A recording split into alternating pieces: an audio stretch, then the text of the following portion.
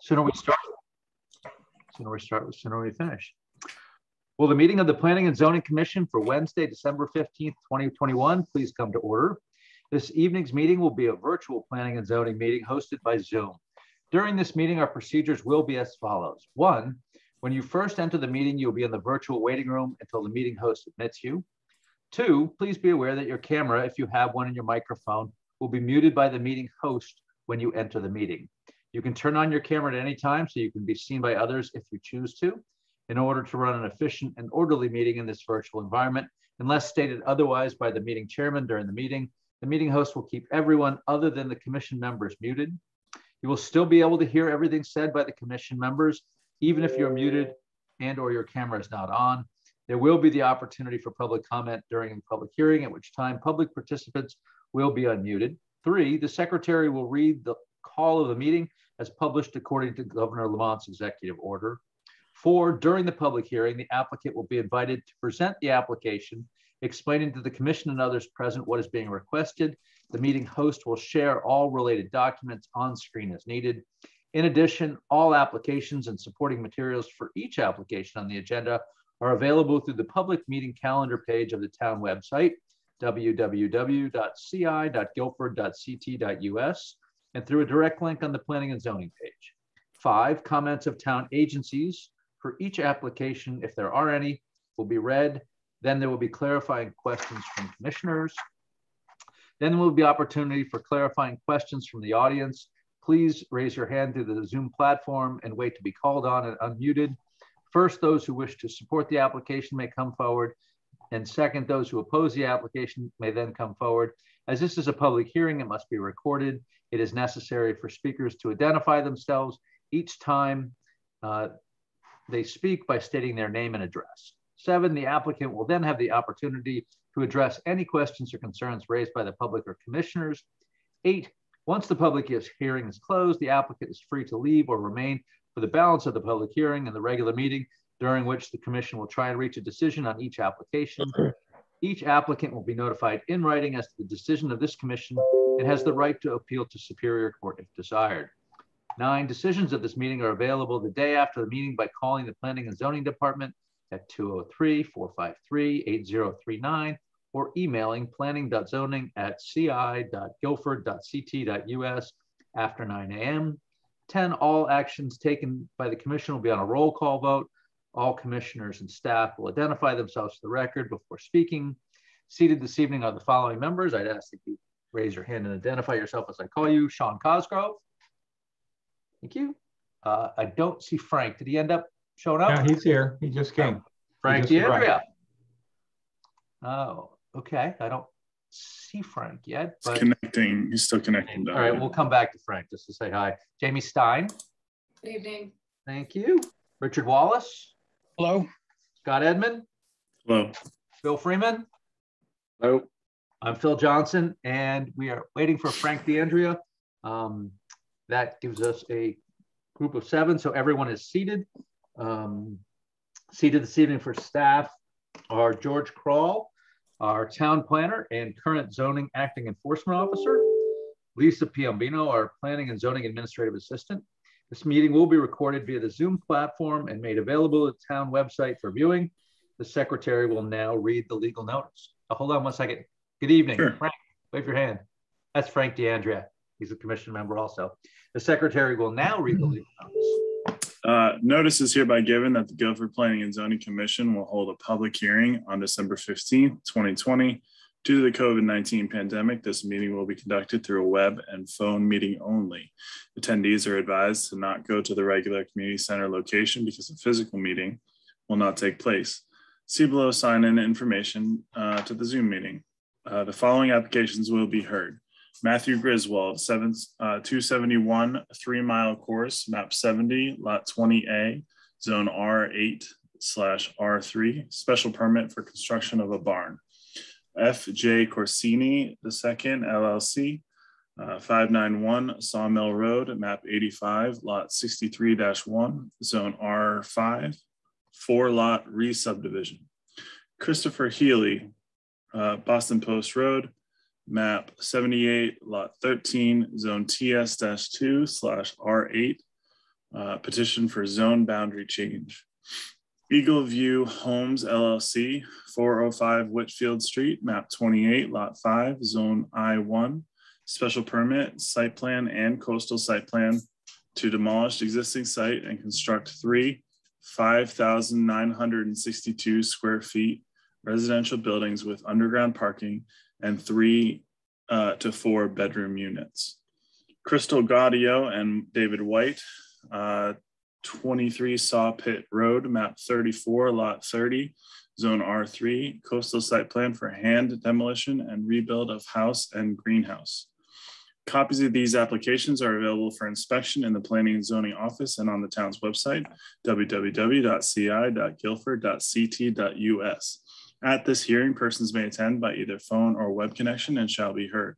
Pursuant to the Governor's Executive Order 7B, any materials relevant to matters on the agenda, including but not limited to materials related to specific applications, if applicable, shall be submitted to the agency a minimum of 24 hours prior and posted to the agency's website for public inspection prior to, during, and after the meeting. And any exhibits to be submitted by members of the public shall, to the extent feasible, be submitted to the agency a minimum of 24 hours prior to the meeting and posted the agency's website for public inspection prior to, during, and after the meeting. All written correspondence shall be submitted to planning.zoning at ci.guilford.ct.us. Documents are available at the Planning and Zoning Office dial 203-453-8039 for assistance. In accordance with the governor's executive order 7I, this legal notice is being published on the Guilford uh, Town of Guilford website, www.ci.guilford.ct.us, dated at Guilford, Connecticut, this 30th day of mm-hmm. November, uh, 2021. Phil Johnson, Chairman. Thank you very much. Would someone like to make a motion to open? So moved. Thank you. Sean with a second. I'll call the vote. Sean Cosgrove? You need to unmute. I'll, I'll take your hand raised, but if you could unmute, we'll get a, a full aye out of you. Aye. Frank D'Andrea. Aye. Jamie Stein. Yes. Richard Wallace. Yes. Scott Edmund. Yes. Bill Freeman. Yes. I'll also vote to open. The meeting is open. Crystal Gaudio and David White, 23 Saw Pit Road, map 34, lot 30, Zone R3 coastal site plan for hand demolition and rebuild of house and greenhouse. Uh, is someone here to present for Crystal and David, and or are they here for themselves? Yes, sir. Uh, here we are. If you I'm could David, name and, yeah, name and address for the record would be great. Yes, David White, 80 Boulder Road, Guilford. And Crystal Gaudio, 80 Boulder Road, Guilford. This is our temporary address. Okay. So the, the work being done is at 23 Saw Pit Road? Yes. Yes, sir. Okay, sorry, just.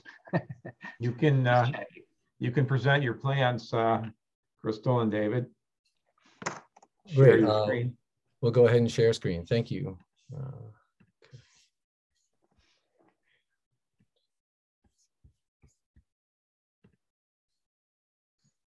Okay, thanks everybody for giving us the opportunity to share this with you. Uh, my name's David White. Uh, I have a, a business called Right Environments, uh, which is uh, dedicated to making more sustainable buildings. I do the engineering work for insulating and air sealing and heating and cooling and ventilating buildings. Um, and my wife, Crystal, is a landscape architect, uh, also very focused on uh, environmental issues, including native habitat. That's relevant because we want to use 23 saw pit as uh, a laboratory for that for that work. We want to develop that work and, uh, and, and use it as part of our business efforts. Um, here is an image of 23 saw pit, and I'm going to show you. Oops, there we go. Uh, here's an aerial view. Uh, this is the house. Um, it's on a hill along Saw Pit Road overlooking the marsh. Down here is the grass shack and Jacobs Beach. Uh, and down here is some wetland that's also on the property. Uh, by the way, I grew up in Guilford on Dunk Rock Road. I'm trying to change my slide here, but it's not. Okay, there we go. Here's our, here is our proposed plan. Um, uh, this outline is the property this is tidal wetland. Uh, this is the hill that I just pointed out. and um, I want to point out that uh, as the nature of our businesses reflects, uh, Crystal and I are uh, tree huggers, for lack of a better term. Um, we have made valiant efforts to save the existing structure, uh, but for reasons that I'm going to show you, uh, we just couldn't find a way to make that happen. So our proposal is to uh, remove the wood framing on the existing foundations and then build a new house on those foundations with the intention being uh, for there to be no soil disturbance uh, in order to uh, uh take proper care of the wetland downhill from us. And again, we're here tonight because as you can see, this heavy dotted line, which is the 100 foot offset from the wetland border, um, uh, the house and also this existing uh, derelict structure both cross that line. In addition to minimizing the environmental impact of the construction, as I said, we have these businesses that are very sustainability focused. Our intent is to build a net zero energy house, which we wouldn't be able to do if we were keeping the existing structure, uh, and also reuse material from the existing structure in the new structure. Um, and Crystal has this intention uh, for the site as well. Do you want to talk about that? Yeah, um, I just by chance met the previous owner this week. They, he still owns the property across the street and had some mail from us. And I found out that he purchased this property 40 years ago with the intent of eventually living in it himself, redeveloping it, um, and never got around to it. Because of that, he rented the house for 40 years and didn't do much to the land. Um, because of that, uh, the, the, house is not in great shape, which David will show some pictures of that. But also the site is, is amazing in many ways. It, um, it has wetland, it has forest, it has shrubbed areas, it has a, a place for meadow, um, and it has an enormous number of invasive plants, but also a great number of native plants. So my plan is to uh, replace the invasive plants with native plants um, without using any heavy machinery. We'll use sheet mulching, solarizing, and hand removal, and then plant natives in those areas. Um, so the existing house uh, is, why is it hard? Okay, here's the existing house. Um, the siding is asbestos shingle. So all of that needs to come off for safety, especially because much of it is failing. Um, and underneath that siding is the original siding, which is wood, but was painted with lead paint. So that's coming off as well. Um, uh, just a quick image of a single story portion in back that I'll touch on in a moment. Uh, there's a severe roof leak there um, that I'll come back to. These are the stone walls of the, uh, of the shed in back. As you can see, the roof collapsed a long time ago. But we think these walls are beautiful. They're made from the same stone on which they rest. Uh, and most of the structure is directly on bedrock. Uh, so we intend to repair that structure and put a roof onto it.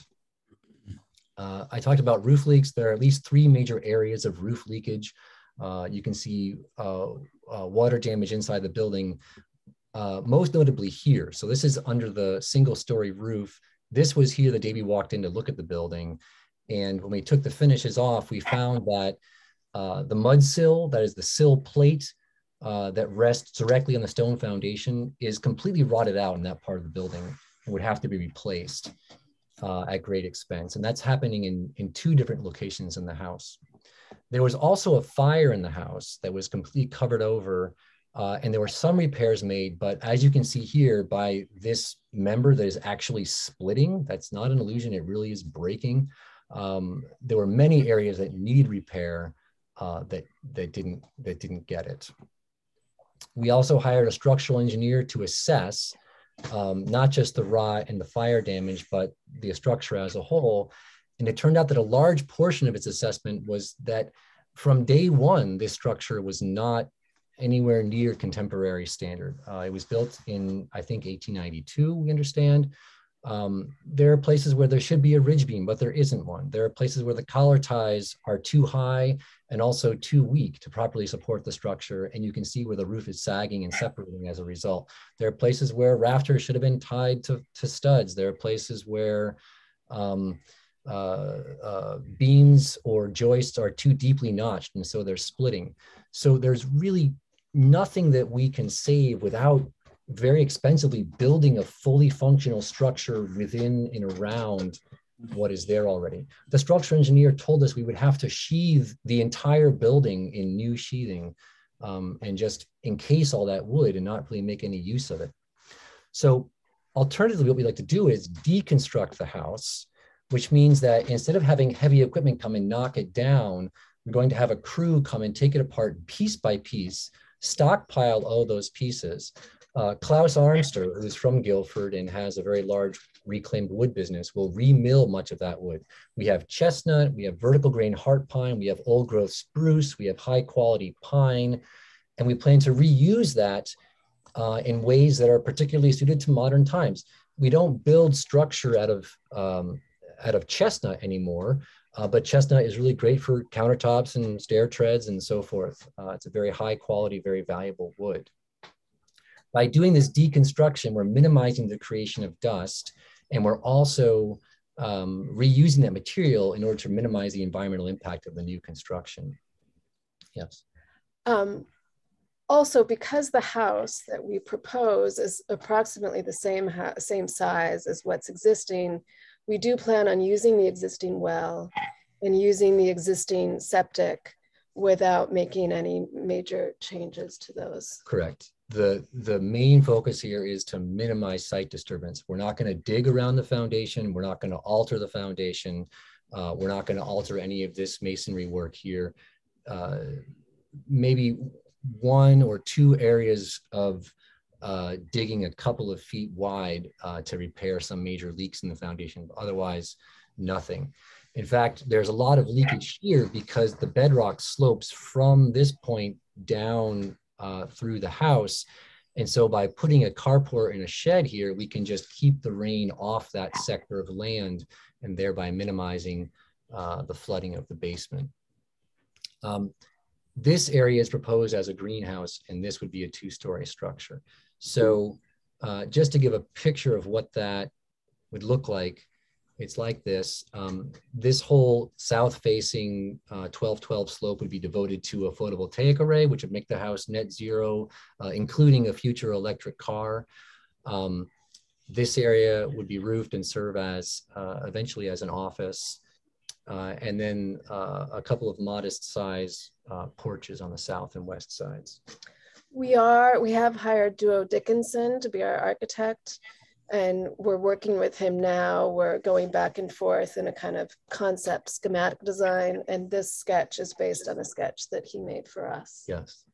One of the rules of making net zero energy buildings in this climate is that you don't put too much glass on the house. And so we're trying to make a traditional, modest looking form. It's not meant to be anything uh, ostentatious by, by any stretch.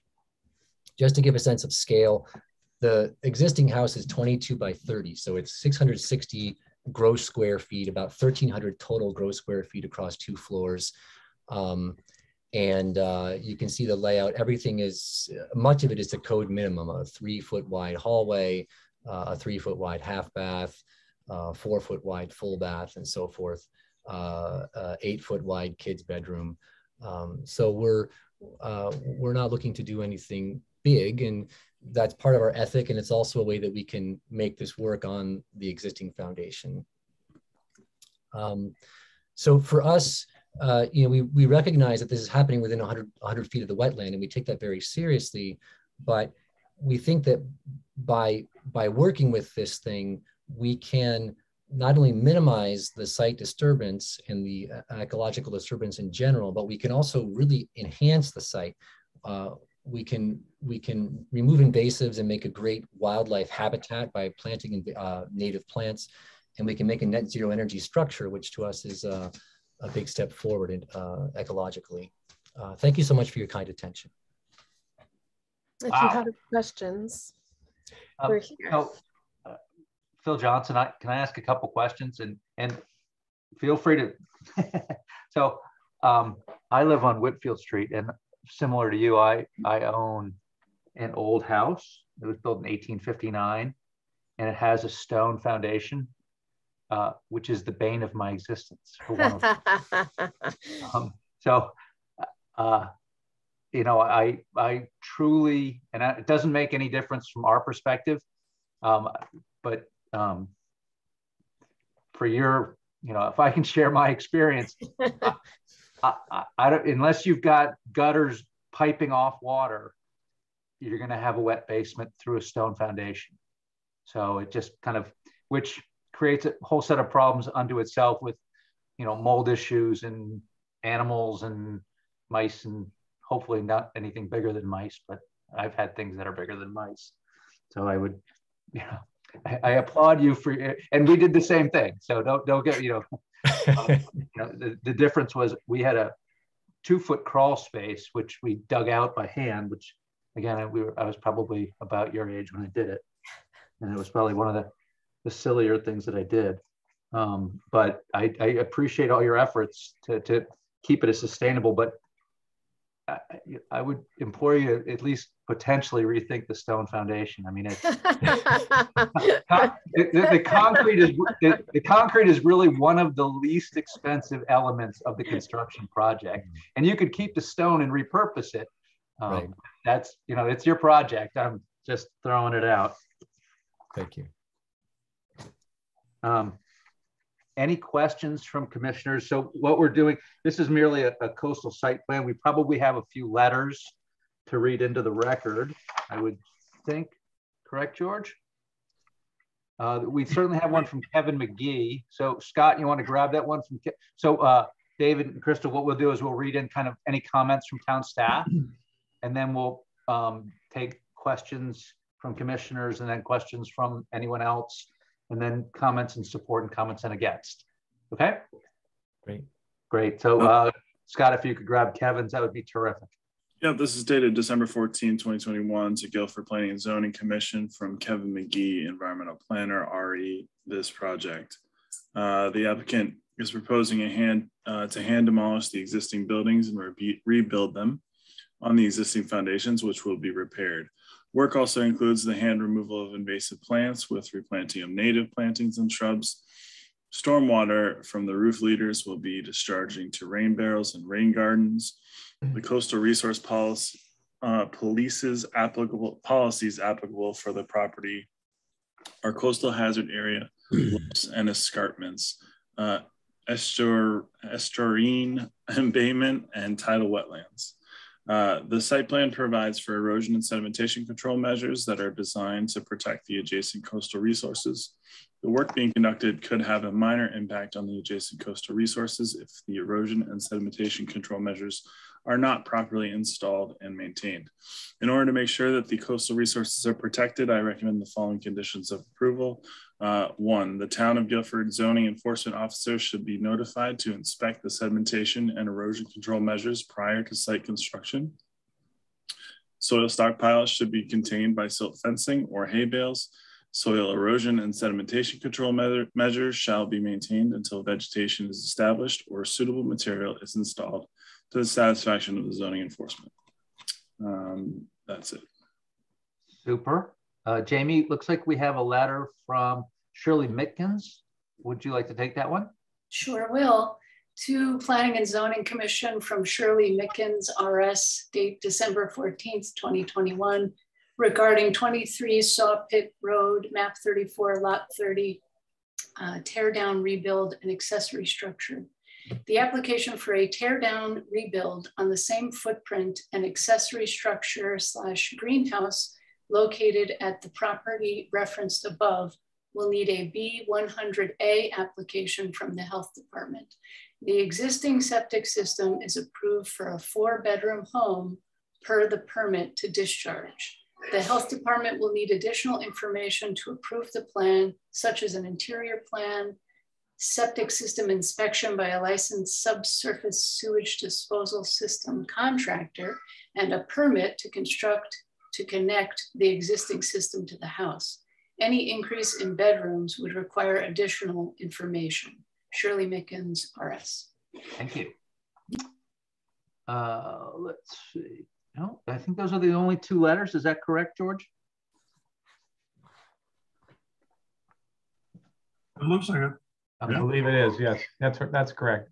Um, so can I ask another question, just out of curiosity, David? Crystal, are, you- are you guys pulling the asbestos siding off or are you having someone else do it? Uh, yes, sir. I'm pulling it off myself. Be careful. Yes, sir. Yes, sir. I have a, a, a P100 respirator uh, and, and a Tyvek suit. Um, I, I, I believe, it- having um, done something similar to that um, with a house with lead paint, um, I know that the, the cost to have a contractor do that is um, on the verge of insane because they, I think they literally have to bubble the house. Um, but if you do it as a homeowner, those requirements are, are not the same. Bill, you might be able to chip in and tell me if I'm right about that or not. That's what, that's what we found. Yeah, the Yeah, that's, that is true. Again, uh, You still have to be careful. I was about to say, I, I, I'm in, I'm in the safety, I'm in the insurance business on the side kind of. Uh, and, and we always joke, safety's no accident. So just, you know, make sure you're doing everything to protect yourselves um, to the best of your ability. Uh, Are there any questions from commissioners with respect to this application? Yeah, I, I've got a few, Phil. Um, so um, I'm not sure I saw in the application, and I may have missed it. Um, this has got to be in what zone is of, of the flood zone are they? in? It's very high. Sorry, go ahead. I think we're 20 feet above, um, I think 26 feet is the highest point of the hill. And the house is at about 20 feet above the um, Yeah. I, I grew up not far from there, and, and It's uh, a funny little hill. Uh, Sean, actually, if you don't mind, I'll answer your question because I did a little due diligence beforehand. okay. Uh, c- um, David, is it okay if I screen share? Uh, yes, please. Um, okay. Host Me- disabled. But, you know, I'll, I'll just, I'll just add, you know, 20 feet. Uh, I mean, you know, I've been down there over the course of my life and um, the water can get pretty high. Hold on a Not sec, Sean. There you Not go. that high. Uh, hold on, Sean. Yep. Can you guys see the screen I'm sharing now? I can. Okay, so this is the railroad track and here's the house that we're talking about. Right. So it's, it's, it's quite high, sorry. It's quite high. I mean, I, I'm not, see what the.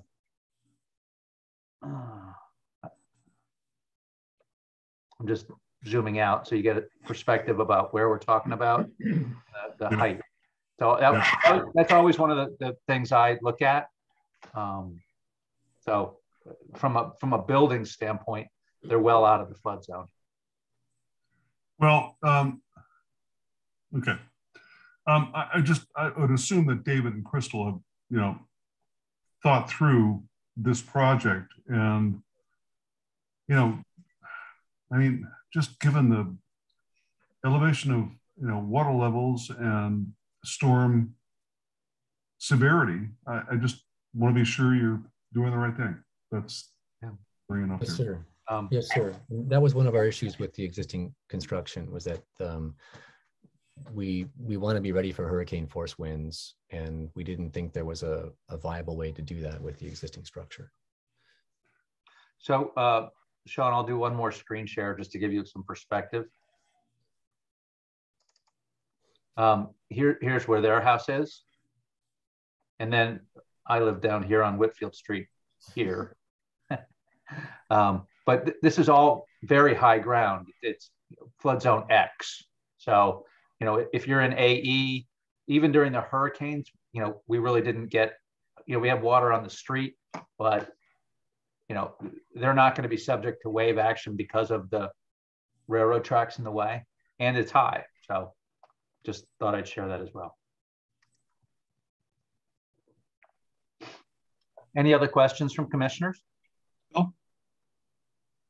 Uh, Richard Wallace. Yeah, good af- good evening. There was no need for DEEP.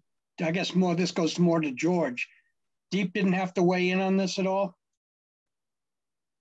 No, we don't, we don't, routine, we don't routinely uh, refer CAM applications to them anymore.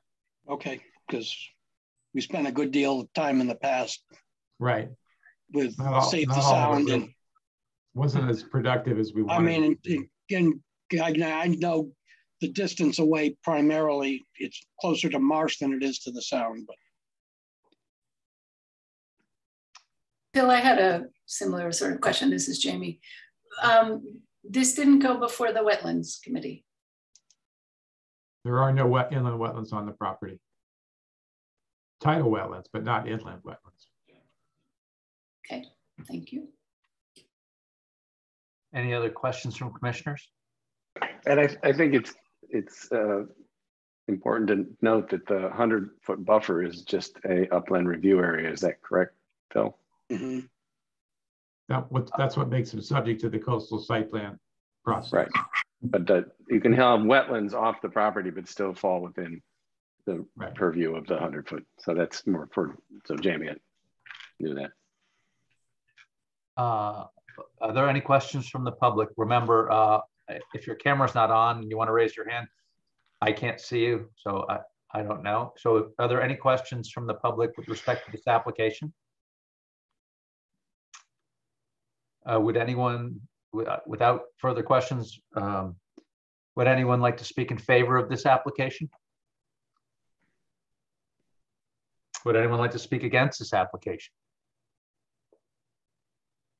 with no comments either for or against, uh, and comments from town agencies written in, and a very nice presentation from David and Crystal. Would someone like to make a motion to close? Motion to Motion close. closed. Second, All right, Lisa, I'll leave that to you to figure out. Uh, Sean Cosgrove, Aye. Frank DeAndrea, Yes. Jamie Stein, Yes, Richard Wallace, yes, Scott Edmond? Yes. Bill Freeman. Yes. Well, as a vote to close, we'll act on this tonight. Um, I can't promise you when, um, but you can also um, give Lisa a call in the morning and get the results, but I, I feel comfortable with it, but we'll see how all the commissioners end up. Um, next Hi. item, Sorry, this is a member of the public. My mute button was sticking, so I wasn't Okay. able to respond in time. Sure, But I could- would like to, I'd could- like to su- support uh, this project. Thank you. If you could just quickly state your name and address for the record, that would be appreciated. Uh, This is Aaron Alvey, 329 Three Mile Course. Thank you. Appreciate your support. Um, since we already voted to close, we'll just add that as public knowledge. Yeah, sorry about that. It's Not a problem. Uh, next item on our agenda is Matt Griswold, two seven one Three Mile Course, map seventy, lot twenty A, zone R eight slash R three, special permit to construct a barn. I'm assuming Matt's barn is over seven hundred and fifty square feet, and that's why he's here. Matt, is Matt here? Hi, Matt. Welcome. Hello. If you could state your name and address, that would be great. Hi, this is Matt Griswold. I live at 271 Three Mile Course, and I am working with Jim Preddy from Criscuolo Engineering uh, regarding this project. Uh, good evening, folks. Jim Preddy, Criscuolo Engineering. Uh, we did um, survey and the plan here for the proposed barn. Um, 271 Three Mile Course is a very rear uh, lot, uh, if you will. You cannot see the house at all from the road. Um, in fact, the driveway kind of goes around another house. Uh, it's a very unique property. Um, and uh, the driveway that's on the plan, um, I don't know, George, can you share the plan?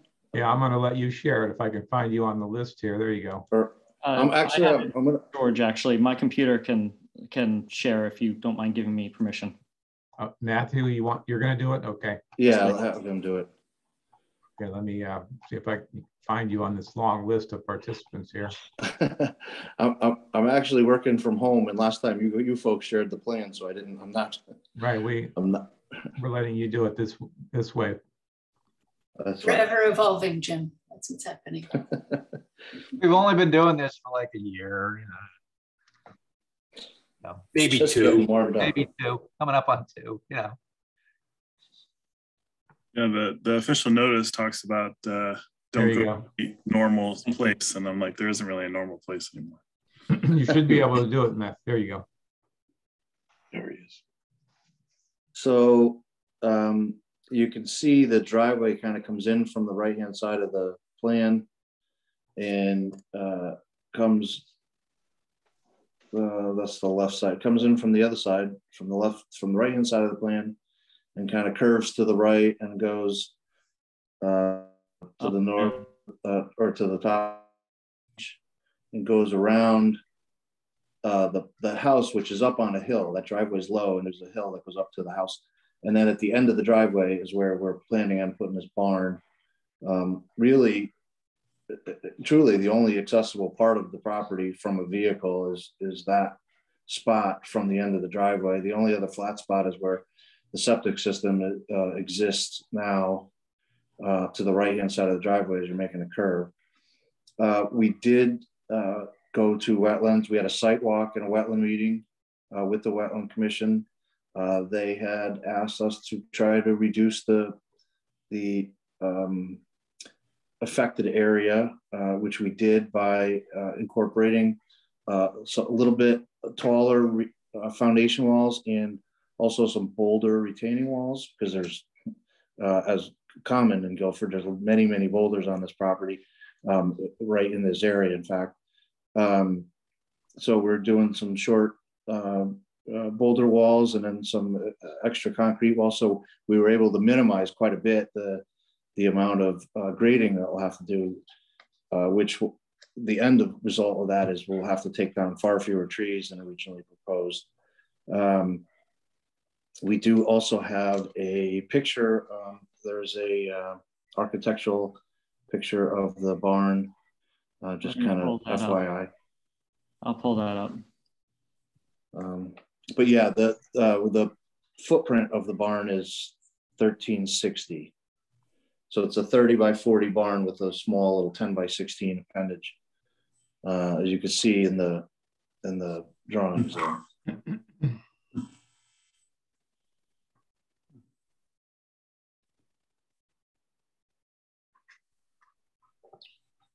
And that's it. Um, we did, uh, we did get wetland approval after the changes. And um, we did hear from the health department that they were uh, okay with the project as well. Um, so now we're here for the special exception for you folks. Uh, Any septic um, or, or facility sinks, things like that going in? No,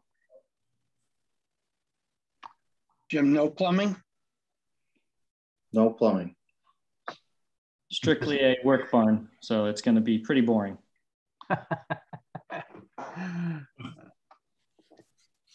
Terrific. Uh, Looks like a fun project. You know, it's built on a slab, I'm assuming. Yes. Great. Uh, Any questions from commissioners with respect to this application? I don't, do, do we have any other? um, Yes, we do. Okay, Two. There is great. a, there, there is a letter. Yeah. Uh, Sean, you want to grab one? The first one? Uh, there's one from Kevin Magee, environmental planner, uh, regarding a special permit for Matthew Griswold, uh, 271 Three Mile Course, Guilford, Connecticut. Sister map 70 lot 20A. The applicant is proposing to construct an approximately three by four foot barn on a hillside adjacent to the existing driveway. Roof water will infiltrate into a two foot by two foot deep crushed stone trench located under the drip line.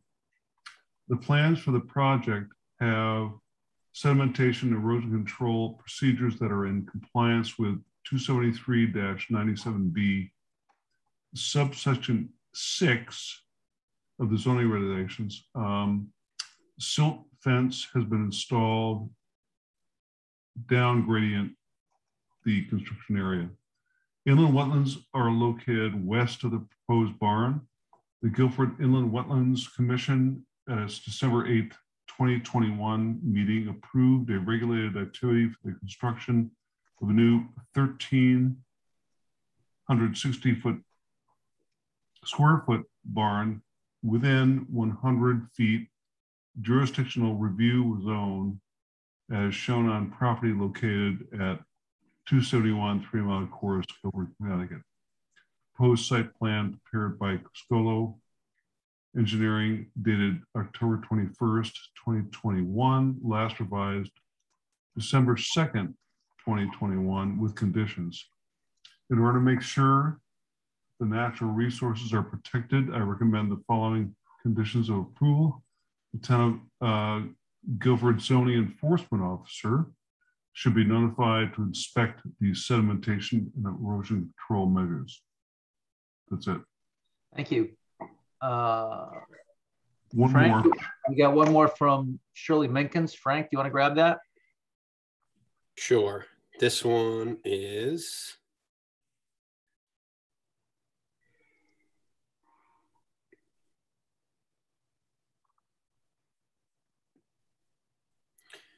I can screen share it up if you want. I got it somewhere Okay. around here. I got you. Hold on. There you go.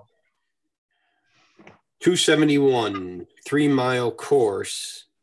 And this is from Shirley Minkins, RS. The application for an accessory structure barn, no plumbing, located at the property referenced above, meets the requirements for a 19 13 B100A. The accessory structure must be 10 feet or more from the subsurface sewage disposal system. The structure will not reduce the potential repair area for the subsurface sewage disposal system. The applicant will need to apply for a B100A application from the health department before final approval is granted. Shirley Minkins, RS. Thank you very much.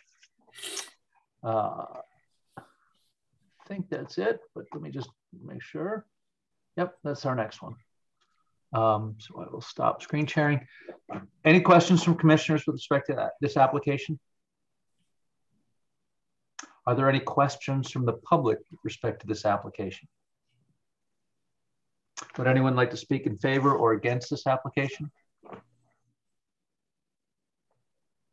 With no comments either for or against, uh, would someone like to make a motion to close? So moved. Thank you. Okay. Second. Uh, I'll call the vote. Sean Cosgrove, Aye. Frank DeAndrea, Aye. Amy Stein, Yes. Richard Wallace, Yes. Todd Edmond, Yes. Bill Freeman. Yes. I'll also vote to close and we'll act on that this evening. Thank you very much, Matt. Um, looks like a fun project. Thank you Uh, very next- much. Next Thank you. item is uh, FJ Corsini Second LLC or Two LLC, 591 Sawmill Road, map 85, lot 63-1, zone R5, four lot re-subdivision. I believe Attorney Beatty is here for this. I am, and I'm also joined by uh, Mark Young and uh, Dirk Goss from Waldo and Associates, and Mr. Corsini is here as well. Thank you. Uh, Jeffrey Beatty for uh, the applicant, Sullivan Griffith and Beatty, 705 Boston Post Road, Guilford. Um, So this re-subdivision application, uh, just before we get into the, before I turn it over to Dirk and uh, Mark, this is uh, a set of unusual circumstances to, uh, to to say the least. So this property at the corner of Sawmill Road and Flat Meadow Road um, it consisted of, in 1963, the Volpe family, Madeline and Vincent Volpe, bought this land from uh, Mr. and Mrs. Stone. And then they owned it until, oh, they continued to own it until, the family owned it until earlier this year. Uh, in 1980, they applied for and received approval of a three lot subdivision, which is the parcels on our plan. And George, I don't know if you want to put this up or Dirk and Mark, if you want to put it up on this on the screen, which consists of lots one, two, and three of what what the applicant is proposing this evening. They then acquired. Um, they also acquired in 1981 a portion of land from the town on the corner of Flat Meadow Road and um, Road, and that rounds out uh, or add those are added to lots two and three. And subdivision. Mark and, uh, Mark can, uh, you can, you can uh, screen share now if you want to. You should be able to. Okay, I'm sorry. Great. Go ahead, Jeff. I'm sorry. That's okay. Thank you.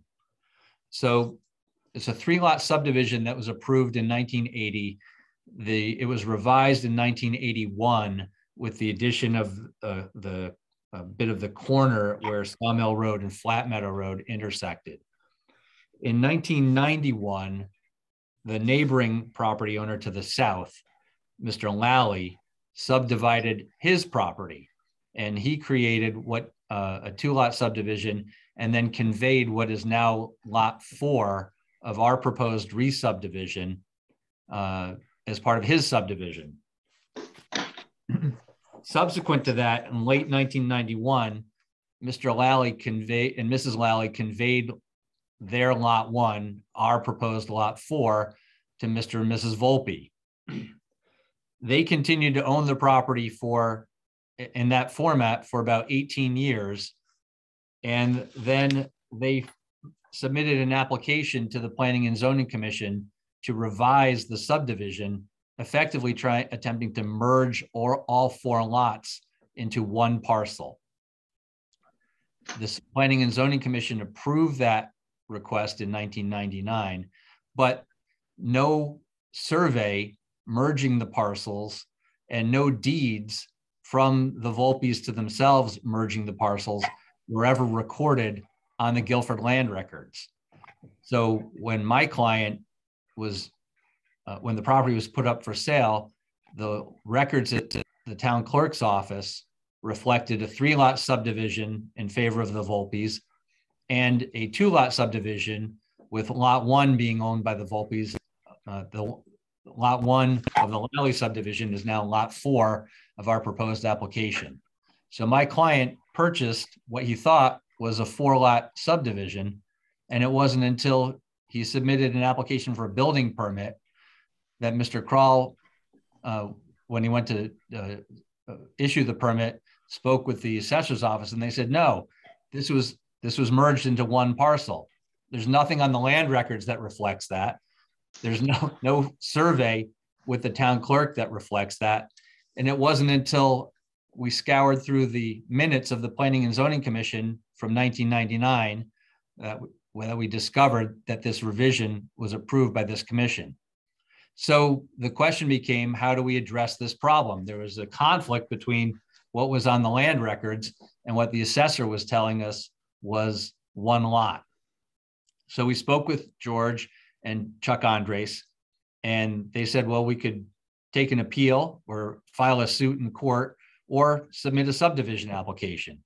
So that's what we decided to do. We submitted this subdivision application, effectively asking this commission to approve the four lots that it had approved, lots one, two, and three in 1980, revising it when in 1981, the corner of Flat Meadow Road and Sawmill Road was acquired by the Volpes and reapproving the lot one from the Lally subdivision, which it approved in 1991 when Mr. Lally approved, uh, applied for his subdivision. So what we're asking for is essentially for this commission to reapprove what its predecessor commissioners had approved in 1980 and 1991. We're not increasing the lot size. We're not increasing the number of lots. We're just looking to reconcile what's of record currently in the town clerk's office with regard to the, the approvals of this property with the minutes of the Planning and Zoning Commission when this lot was revised, uh, when the subdivision was uh, revised uh, in 1999. And we're also we're also asking for, in lieu of, I know uh, Mr. Magee had requested uh, in lieu of an open space dedication that a fee be submitted, but our feeling is that we walked into this situation if, anticipating that we are buying four pre, four approved lots because that's what reflect what is reflected on the land records. Uh, when in fact, according to the assessor, it was one lot, and then according to a review of the uh, planning and zoning mi uh, minutes from 1999, it was uh, effectively revised to, to eliminate the subdivisions. Now, I don't know if, if they could have there were, there were, the problem was that there were two subdivisions that had been approved, the Lally subdivision to the south and the Volpe subdivision to the north.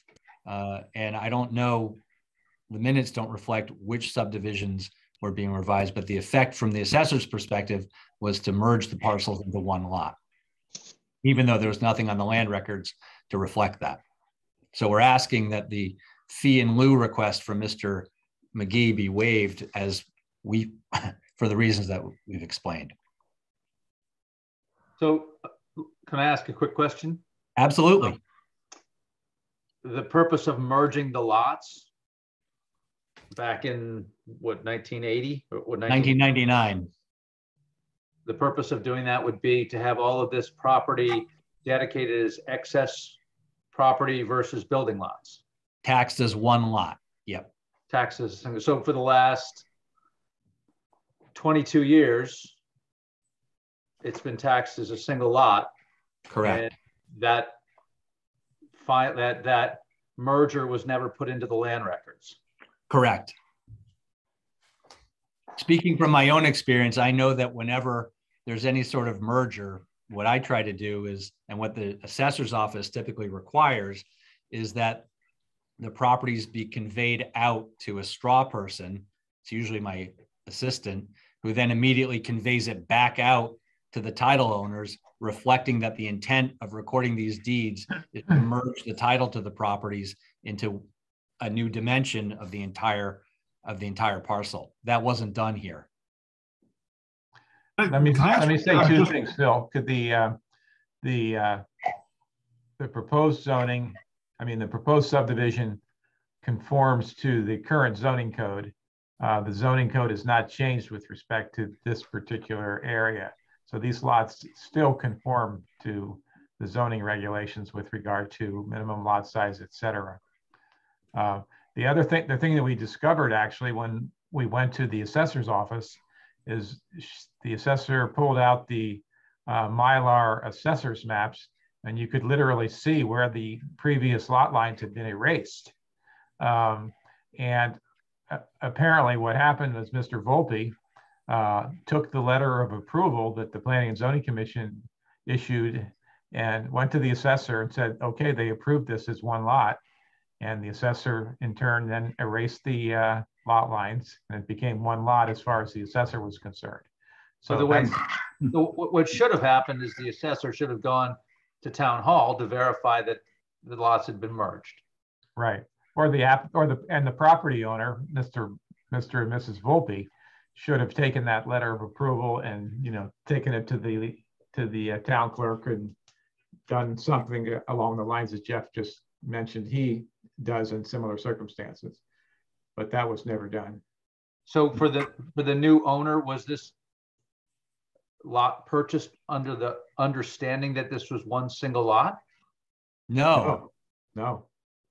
he thought it was four. And only only upon finding out from the assessor that it was being billed as a single lot was he aware? Well they No, came to he, the, he, they he came to found the- that he found that when he went to pull the building permits for what he thought was an approved four lot subdivision. Right, that's correct. So- And needless to say, there was a lot of gnashing of teeth at that time. Um, and we couldn't figure out what was going on. Because, you know, we were looking to assign an address to the, to the lot for which a new building permit was uh, to to be taken out. And the assessor's record upon which the GIS database is built showed this as one lot. So it didn't, obviously, there was a discrepancy. Hey, George, I have a question. Wouldn't a normal course of action back then to have been to create a new map and have it uh, signed by the people, the, you know, the surveyor, and then have it taken to the planning and zoning to be signed off and then recorded? Yes, that, that could have been done. It should have been done, something along those Should- lines. So It's without very that rare that we have a, it's, it's extremely rare that there is a, that we have a subdivision rescinded. That's a pretty unusual step. Um, So, But in order, from my perspective, to make it a legal action, just because they vote on it, it doesn't necessarily happen until the actual re- recordation of the new map is placed in the town records is, at least that's my understanding of my right. typical one course. Of the things that, one of the things that Chuck Andrus explained to us, I think this is what he said, Jeff, is that um, they, they would not have needed any kind of planning and zoning approval, actually, in 1999 or whatever the date was.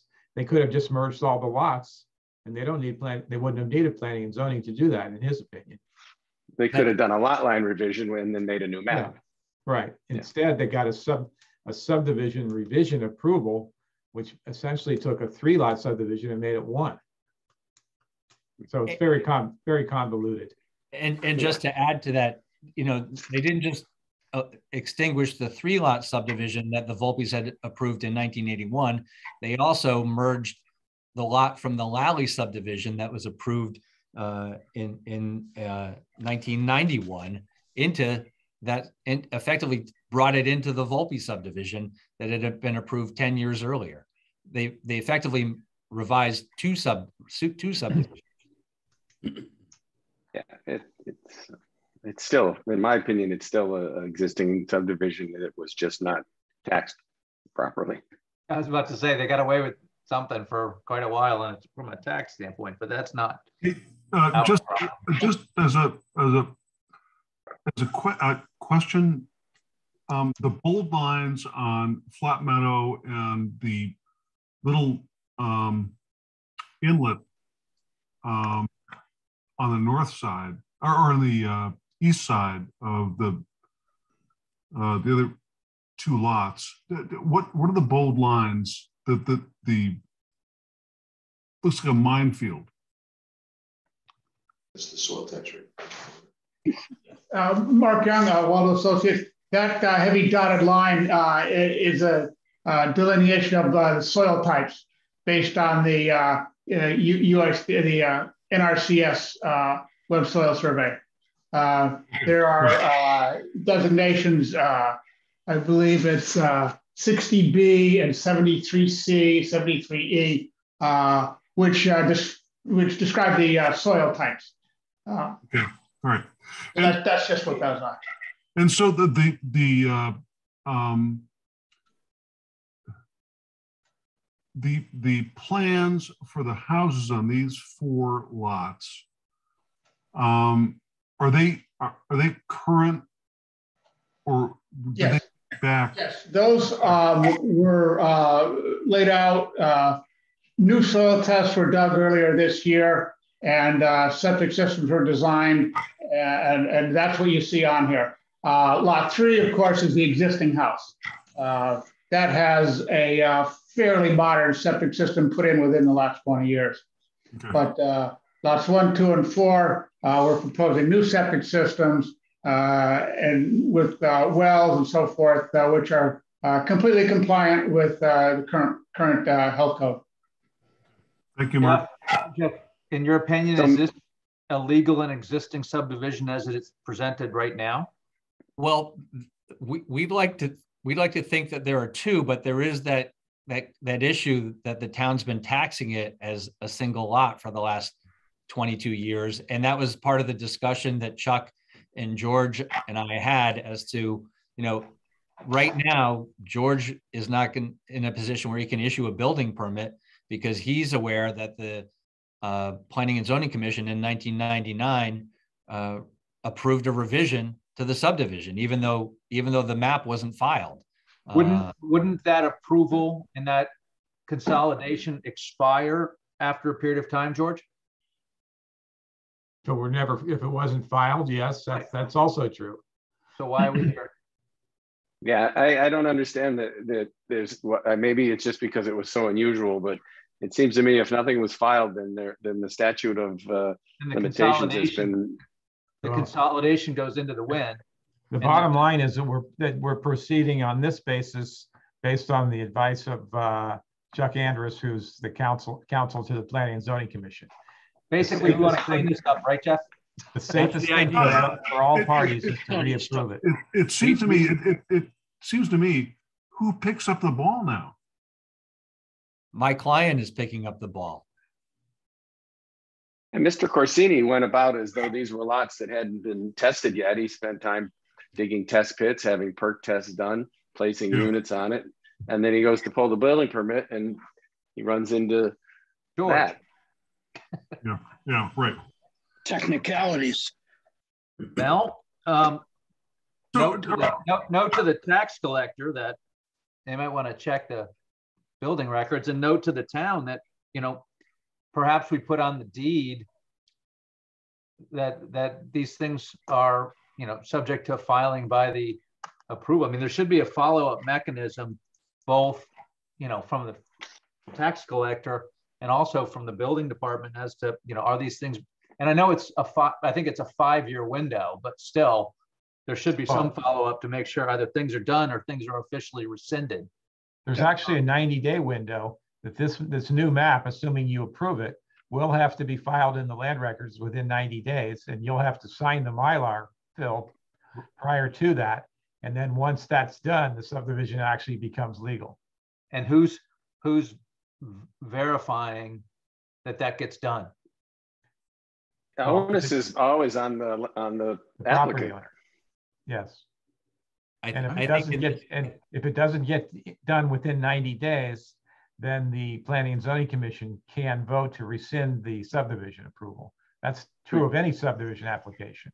But that, it, it's so rare that that happens, um, that, you know, we don't have a lot of track record. And I can assure you, uh, based on, based on conversations I've had with Mr. Corsini, that's not going to happen. Yeah, I, I know, I'm just, I'm, I'm thinking more about processes that we have in the department to make sure that we're not promoting No, further. well, those are processes that are established by Connecticut law, not by us. Well, I know, but there should be some Right. follow-up in the building department as to whether or not something's being done or not, right? Yes. So that's, that's a s- subject for a later discussion. Um, Right. Are there any questions? I mean, I, this is not the most straightforward one. Are there any questions from commissioners with respect to this application? I may have some questions. This is Jamie, Phil. I may have some questions after we read the letters. Uh, Do we have any letters? Um, Yes, we do. Okay, Richard, do you want to grab the first one? Hold on, Saw Pit, Three Mile Course. Sawmill Road from Kevin Magee. Yeah, this- My bloody reader is out of Well, I got you, I got you on the screen share if you want. Yeah, let me have Kevin's from this. There you go. We stop, we'll stop, we'll stop uh, sharing, okay? How about that? You got that, Richard? I got it now. Okay. As everybody can read along, to the Guilford Planning and Zoning Commission from Kevin Magee, Environmental Planner, re-subdivision property of FJ Corsini Second LLC, Sawmill Road, Guilford, Connecticut, 06437, Assessors Map 85, Lot 06301. The applicant is proposing to re-subdivide 4.77 acres parcel into four lots.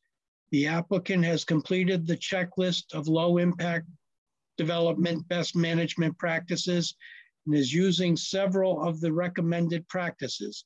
The stormwater management system consists of roof water discharging to rain gardens. The plans for the project have sedimentation and erosion control processes that are in compliance with 73-97B subsection six of the zoning regulations. Inland wetlands are located off-site at the north side of the intersection of Flat Meadow and Sawmill Road.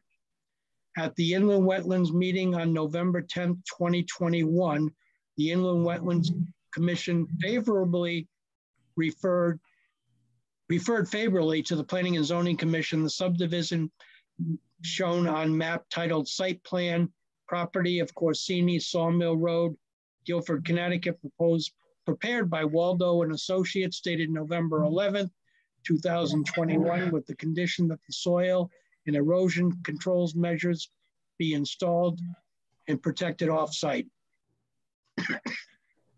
To protect off-site. Recommendation, recommendations for conditions of approval. One, the town of Guilford zoning enforcement officer should be notified to inspect the sedimentation and erosion control measures prior to site work at each lot. Soil stockpiles should be contained by silt-fencing and or hay bales. Soil erosion and sedimentation control measures shall be maintained until vegetation is established or suitable material is installed to the satisfaction of the zoning enforcement officer. Two, to meet the open space requirements of section 272-41, one, excuse me, of the subdivision regulations, I recommend that fee in lieu of land donation be made to the town of Guilford Land Acquisition Fund, Connecticut General Statute, Section 8-25.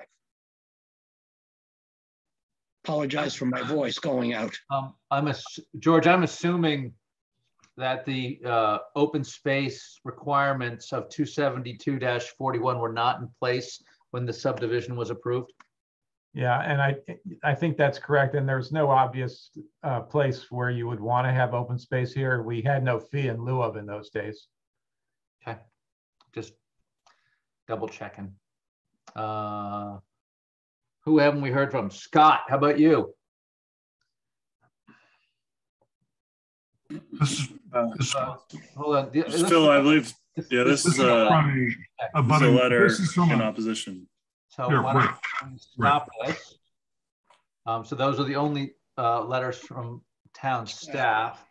Right. So, um, let's see if. Uh, Uh, Any other- Excuse me, uh, Dirk Goss with Waldo and Associates. Uh, I sent over the uh, Health Department uh, preliminary subdivision approval previously. Um, George, do you have that? Um, Uh, I'm not sure. Do you have a, do you have a copy of it, Dirk? George, I I could, I could get one down here in about five minutes while you read the other letters. if you want. Yeah, I can, I can go see it, look in our file too. I'll, I'll take, a- I'll look for it. Okay, so, uh, while we're waiting for that other letter from the health department, which probably, I would suspect states, you know, the, the septic requirements and adequacy or not, um, I'll open it up to any other question. Quest, we'll go with questions first, and then statements in favor and statements against. Does anyone have any questions with respect to this uh, application? And again, uh, if your video is not on, I probably can't see you. Um, so feel free to speak up uh, and we can acknowledge you. Yes, uh, Peter Glasser, Do you have any Yeah, questions? Pe- Yeah, Peter Glazer, 49 Thirsty Hill Road uh, in Guilford. I'm, I'm uh, one of the letter writers um, in opposition, but I do have a question just in- as a taxpayer in Guilford, uh, as far as, uh, you know, what is the, the tax assessor and tax payment history there and whether there's an issue that, you know, might raise the question of tax fraud uh, uh, be- because of the way uh, this was characterized and assessed. I, I hear you. I don't think that, that falls to us. I mean, I, I think you're, you're correct in your assessment that there were probably a number of years from the prior owner where they were underassessed with respect to this uh, property, but I don't think that falls to us as a land use commission. Um, I might bring it up with the tax assessor's office, but I don't think there's anything they're gonna be able to do at this time against a prior owner. That's, that's just my take on it and, but I hear what you're saying. Thank you. I do, I do have the, uh, I do have a memo from, uh, from Shirley Mickens. Um, I think this is what you're referring to. Yes, Uh, sir. This is, uh, I'll, I'll read it. Can you hear me okay? Yes. Uh, This is to Frank, Dirk, and Mark um, from Shirley Mickens. I followed up with Sonia on the lots. The health department is approving the four lot subdivision and additional testing can be done at the time of construction. I would like to note that since this subdivision was approved before 2007, it was acceptable to approve lots that had potentially suitable soils. Potentially suitable soils have at least two feet of naturally occurring soil above ledge rock. I believe we discussed this on site during soil testing. Going forward, subdivision approvals must have a minimum of 18 inches of naturally occurring soil above maximum groundwater and four feet above ledge rock per 2018 technical standards, page 34 and 35. Getting a little ahead of the project, our inspectors will require a fill inspection in addition to the usual stakeout, scarification, and final due to the amount of select fill necessary. We will check the placement of fill prior to the system install and confirm four feet to ledge. That's what you were referring to, I, I think, Dirk. Yes, sir. That's the one. Thank you, George. Appreciate you finding that. Um, are there any other questions with respect to this application from the public? Well, I, I, Or from Commissioners. I would just say, you know, in, in reaction to, you know, Peter's question, which I, I also had a question about. um, if there is i- any, you know, any recourse relative to taxes, uh, um, does Mr. Corsini own the entire 4.77 acres now? Uh, Yes. Miss Jeffrey Beatty uh, for the applicant. Yes, he purchased it in, uh, we closed in September of this year. Okay, so uh, there, there is there. I mean, no one here probably can answer this, and it probably will just you know become a you know course of history. But you know, if the prior owners were not maybe not intentionally, but avoiding taxes, that's something to look be looked into. And I, I just think it should be an, an issue, an issue for this application. That, that's all I'm saying. I don't, I don't think we can hold the, the current applicant up with respect to the actions of a prior owner. I mean, if the town wanted to go back after the prior owner, that would be up to the town to do. Mhm. I mean, that's just my feeling on it. I mean, Yeah, I, I get you. I mean, if the, if the current owner bought it in good faith, but, you know, you know, I'm saying if, if there was not a good title search done on this whole thing and this, Mr. Corsini bought it, There, there was a good, ti- the- that, that's exactly the problem, Mr. Cosgrove, that, that there was a title search done and the records on file. of, of, were of the, not. of the town were, in- were, were not correct. The, the records on the land records reflect a subdivision that had been Right. approved with no changes to it. Right, right. so nothing in the deed indicated that they had been consolidated. Right, So exactly, that's, I mean, your, your land, your title searches are based on deed. Exactly. Thank you. Uh, Peter, yes? Yeah, thank you. Uh, You know, I- I'm not, not a lawyer, but just the, the fact that um, uh, Mr. Volpe benefited from the taxation as if it were a single lot for all those years. I'm wondering if that uh, by de de facto establishes this as a single lot rather than an existing subdivision. I, I think that's a, that's a, that's a tough connection to make in my mind, but. um, I'd be able to add to this. Um, If you could, sorry, if you could state your name and address for the record. absolutely. Um, I'm Michael Zaransky at 559 Sawmill Road. I own the property and live in the property uh, most adjacent to this uh, construction.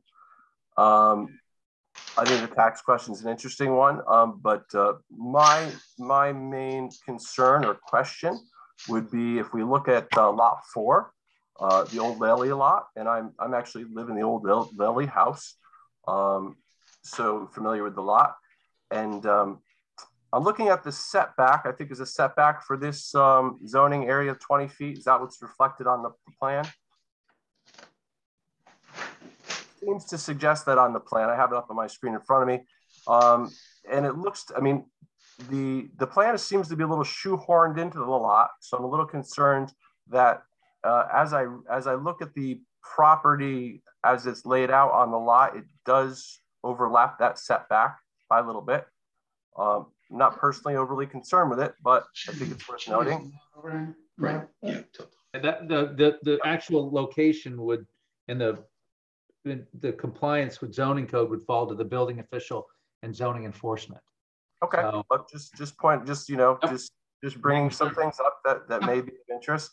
Uh, the second point is um, obviously that if you look in the lower right hand corner of the plot plan, you'll see a existing well with a large uh, circumference or uh, George, can you wrapped put the map it. back up? Yeah, um, I, I could do it if you want, George. yeah, just let me, let me, you may want to zoom on on zoom zoom in on lot four there. Go ahead, Dirk. And, and sorry to, to say this again, is this, is there a question or is this comment in support or against? This would be a comment. Okay, Uh, then I- what I'd ask, what I- what I'd ask, what I'd ask you to do is hold on until we're done with questions and then we'll give you the floor, the floor for comments, if that's okay. Yeah, I mean, that, that would be just fine. I mean, there's some questions, but we can address it later as well. Um, just about how the, the, there's, it, it's, it seems to suggest that the existing, uh, uh, septic system, the perimeter of which encroaches on the 75 feet. And my question would be, um, you know, is that what everybody else sees? Is that, am I seeing that, um, clearly? So, uh, we'll, we'll, if you don't mind, I'm just gonna throw it out to see if there are any questions and then we'll come back to comments and forward support and allow the applicant to answer those. Are there any other questions from the audience with respect to this application? And I would reiterate questions. Okay. This is uh, Aaron Alvey with 329 Three Mile Course. Um, yeah, so someone previously brought up um, kind of the precedent that's been set for the history of this parcel in terms of it being taxed as one lot um, instead of four lots. I, I, that previous person to me kind of, you know, from a fresh perspective, kind of brought up a, a good point that you know, since there is discrepancy within the written documentation on this parcel, that since it's been treated as a single lot for the past two plus decades, that, you know, there is a precedent there for it being one lot. And I think that's just something worth considering or thinking more about collectively um, on the commission as you're uh, thinking about approval. Well, Um, again, as, as Attorney Beatty pointed out, um, when the consolidation um, was proposed by the applicant 20 plus years ago, uh, when that land record was not filed, it officially expired. So we have a four lot subdivision before us now. Um, and I think, right, and I, I, I understand the sentiments that people um, are concerned about a subdivision going in. Um, but I, uh, in my mind, the argument that this is a single lot, and again, you can appeal this to Superior Court. Um, in my mind, that's not what we're dealing. with. I mean, the tax issues aside, you know, what we're trying to do is is look at what we have in front of us. Um, Phil, this is Jamie. Just to that point, there there's a lot of steps in this process. So Attorney Beatty, if you could just help me out here. It went from one lot to three lots to four lots to four lots. But I, am confused here. Where is the the the additional? There was like a consolidation of subdivisions that happened with the property on the east. Can you can you help me in that time schedule again? I'll do my best. So on, on the application that's before the commission tonight, lots one, two, and three were acquired by the Volpes in the early 1960s, 1963. Then in 1980, they applied for a subdivision of the of that property into three lots. That application was approved by the Planning and Zoning Commission, and they filed a subdivision map in September of 1980. At that time, if you look at, on the subdivision map, you see the uh, the stone wall uh, along the corner of uh, of lots uh, along the bisecting lot one and lot two. That land was bas- effectively the property line of the Volpe property. In 1981, the town sold along the corner of Flat Meadow Road and Sawmill Road to the Volpes. And then they came back to the Planning and Zoning Commission and revised the subdivision to incorporate that portion that they got, that triangular piece, into lots one and two. And they filed a revised subdivision map on the land record or in the town clerk's office, uh, reflecting that. In 1991, Mr. Lally, who owns who owned the land that includes what's now lot four on what you have before you tonight, divided his property into two lots. And he filed that subdiv, and that application was approved by the Planning and Zoning Commission. And he filed that subdivision map with the town clerk's office as well. He then conveyed what was lot one of the Lally Park subdivision to the Volpes, which is now lot four of what you have here tonight. The Volpes then came back to the Planning and Zoning Commission in 1999 and requested a revision of the subdivision. I don't know what the application looked like because I didn't, I haven't gone through the Planning and Zoning Okay. Commission archives, but the Planning and Zoning Commission approved that request to revise the subdivision, effectively making it all four lots, one lot. Okay, thank you. That was my confusion, whether that last transaction happened before or after, but I think I've got it now. Thank you. I have And a then- question for George. I'm sorry. No, go ahead. I'm sorry. I'm done. George, uh, you, I think you mentioned early on that this does meet the requirements for that zone as far as uh, being a subdivision in general. Is that correct? Right, and I think the, if this were being presented to us as a subdivision on uh, uh, a 4.7 acre parcel or whatever it is, and there had been none of this previous history, you would, we would still recommend that you approve it because it conforms to all the current uh, codes. Right. So I think the other stuff is just sort of a historical Yes. uh, co- accounting, but the reality is it's a four lot subdivision that Mr. Corsini didn't know he had to go through. Yeah, that's correct. Phil, I do have some questions about the soil types. Can I ask those now or you want me to? Sure, no, this is when we're asking questions. Great, uh, thanks. I, I guess it's for um, Waldo and Associates. Uh, The sort of the areas of disturbance, I guess, uh, for these proposed homes. What is the soil type and how would you rate sort of the drainage capacity or the infiltration of stormwater? Okay, the uh, soil type is labeled uh, Charlton Chatfield Complex, uh, zero to fifteen percent slopes, uh, very rocky. Um, it's a generally, uh, you know, moderately sandy uh, soil. Tends to be shallow to bedrock. Um, you know, drainage is is moderate.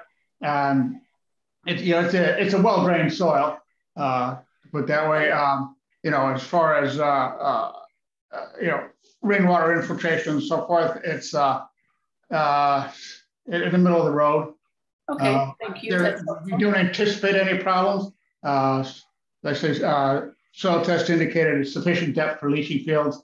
And uh, uh, we're specifying rain gardens for the uh, uh, roof runoff. And, uh, you know, they, they're, uh, it has, that they have similar infiltration requirements to uh, the septic system. So we don't anticipate any problems. Okay. Uh, in addition to that question, is there an adjacent water body to the site? Um, the the nearest it's water it's the- body would be uh, Thirsty Lake, which is several hundred feet to the east. Um, there is is a uh, very small stream uh, to the northwest, which would be the uh, the nearest wetland that Kevin mentioned. It's more than 200 feet uh, from the property um, uh, across the street. Uh, so it's uh, you know eh, there will, there won't be any effect to that. Thank you. And last question, how does the site drain? How, what is, what is the grading like? Where, where is the water? Okay, um, there are, uh, you know, if you look, look carefully, we have, uh, uh, two, two foot contours, um, on the, uh, on the property. Those are based on a field survey. Uh, so basically it's kind of like a, a shoulder. Uh, the high point is this, is that, uh, uh, oval, sort of oval area, uh, circle to the south, and it drains primarily to the north and, uh, off to the, slightly off to the northeast and the uh, northwest. The houses will be sited, um, you know, in a kind of central location on lots one and two. And so, again, they drain primarily to the north. Um, and wh- while lot four, it will be on the uh, on the westerly side of the slope, which will drain uh, to, to, to the west. And the water bodies are to, It's, it's several hundred feet to the east. Jamie, I, I can help you with that. Hold on one Okay, second. thank you.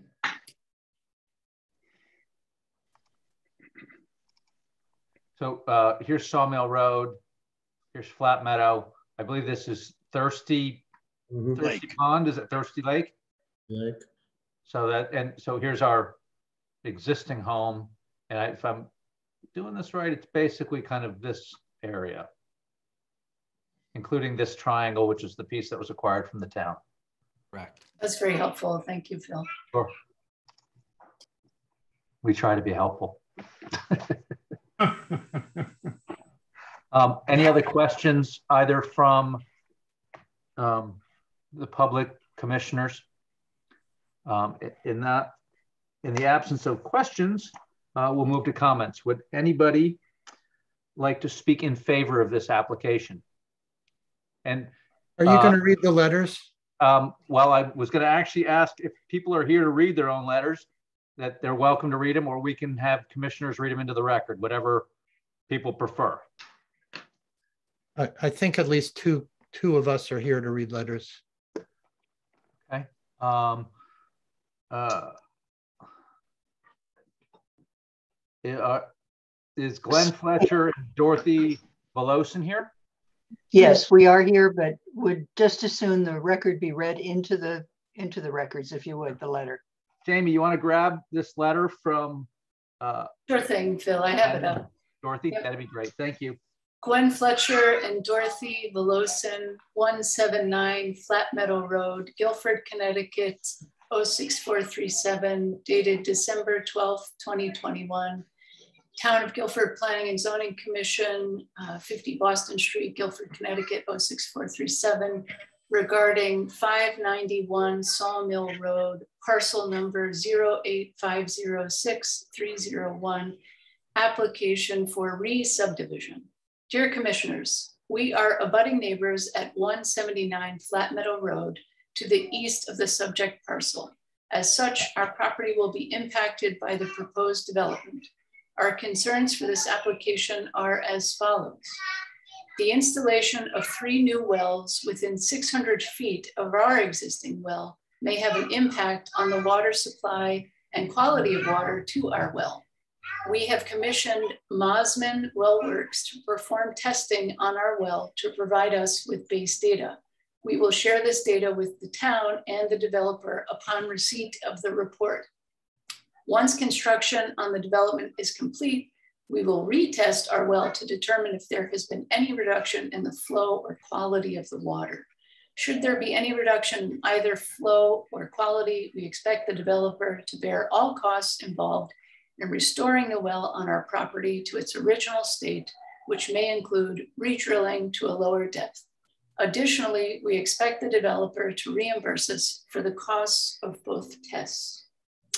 Uh, number two, there exists a row of healthy hemlock trees on the border of our two properties, which we planted with permission from the utility company to provide a vegetative privacy screen to the west. These trees are to be protected and preserved during construction, and if damaged, will be replaced at the developer's expense with trees of a similar species and size. Finally, the drawings indicate the site will need to be regraded to provide adequate depth for the new leaching fields in lots one and two. We are concerned that additional groundwater runoff will be directed toward our property as a result of these changes. We would like assurances that measures will be taken to prevent any groundwater from leaving the properties as a result of the development and what those measures will be. Respectfully submitted, Gwen Fletcher and Dorothy Velosin. Uh, I, I do appreciate your concerns. Um, we, I'll just quickly jump to the, the, the first one. I, I guess you're, you're wise to have your water tested. Um, and if in fact that, that quality or flow is diminished, um, my suspect, I suspect, and Attorney Beatty will probably be able to help me on this, um, it would be upon you and your company to establish that that diminishment was the direct result of the development. Um, you know, I, I, you can't really impose that upon a planning and zoning commission to ensure. Um, I, I don't know about the trees. Um, but again, if they're on the property of the developer, um, I don't think you can demand that they remain in place. But again, um, I'll, I'll let commissioners speak to that as well as George and Attorney Beatty. Uh, and with respect to the water runoff, um, the building engineer and the zoning enforcement officer uh, usually have conditions in place with respect to development for silt fencing uh, to prevent the, the, leaving of materials um, from a property. Bill, you can probably comment also with respect to how that is typically handled. Yeah, um, I think that they're one. I think their concern is that there's just going to be continuous overland water flow, not groundwater overflow. And uh, I thought from what uh, I heard before that most of the drainage was to the north and the west, if I heard him correctly. So I don't think that that's going to be a big issue for them, being that they're to the east. And as you said, uh, erosion and sedimentation controls are always in place and are maintained through vigilance of the developer and through observation from zoning enforcement and wetlands. Officer. And obviously, if that is is the case, we would encourage you to bring any type of flow onto your property to the attention of zoning enforcement and the building engineer. Uh, Mr. John, a clarification. Go ahead. A clarification on the trees. They are not on the. Uh, they are on our property. Okay, then, then obviously, obviously, anything on your property should not be disturbed, especially trees. That makes uh, sense. Phil, this is Jamie. Uh, th this last point raises a question for me. Um, if the engineers could just speak to uh, regrading. Um, I, I, lost the discussion with in Sonia's letter about the depth to suitable soils when this was originally subdivided versus the depth to suitable soils currently. Can someone please clarify that? Well, the uh, uh, Mark Young, uh, Waldo Associates, uh, the uh, soils haven't changed. Uh, it's just that the standards have changed a little bit. Um, the however, the standards for septic systems have not changed.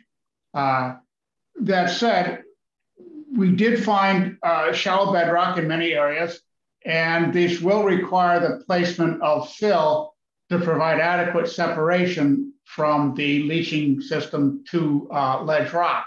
Um, the final grading will be uh, the critical uh, issue in this uh, instance to uh, prevent any overland flow of water, uh, of surface runoff onto the adjoining property.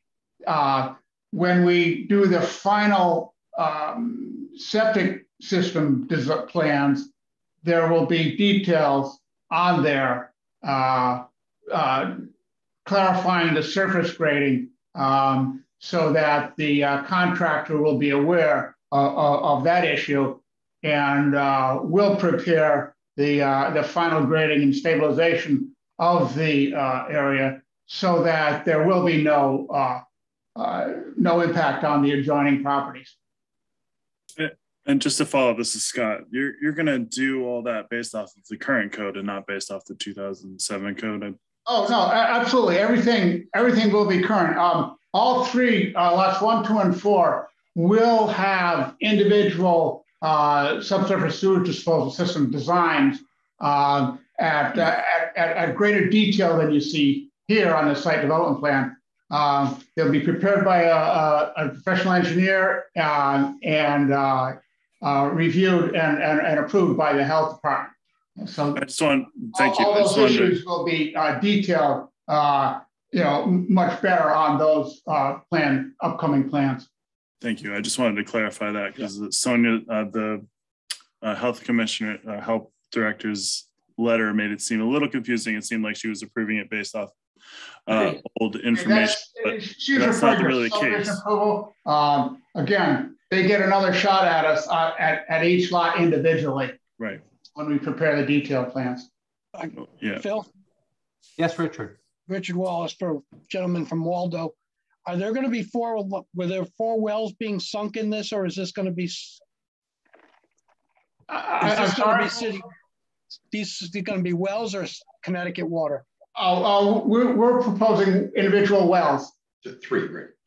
There'll be three, three new wells which uh, meet the uh, separating distances uh, specified in the health code. Okay. Uh, Peter, would you like to read your letter? Uh, can I ask another question, Mr. Johnson? Certainly. Before Peter hold gets Peter. in. Um, what what is the depth requirement uh, as far as when you uh, before you hit bedrock? What's the re the current requirement for that? Um, as far as uh, septic systems, um, Yeah.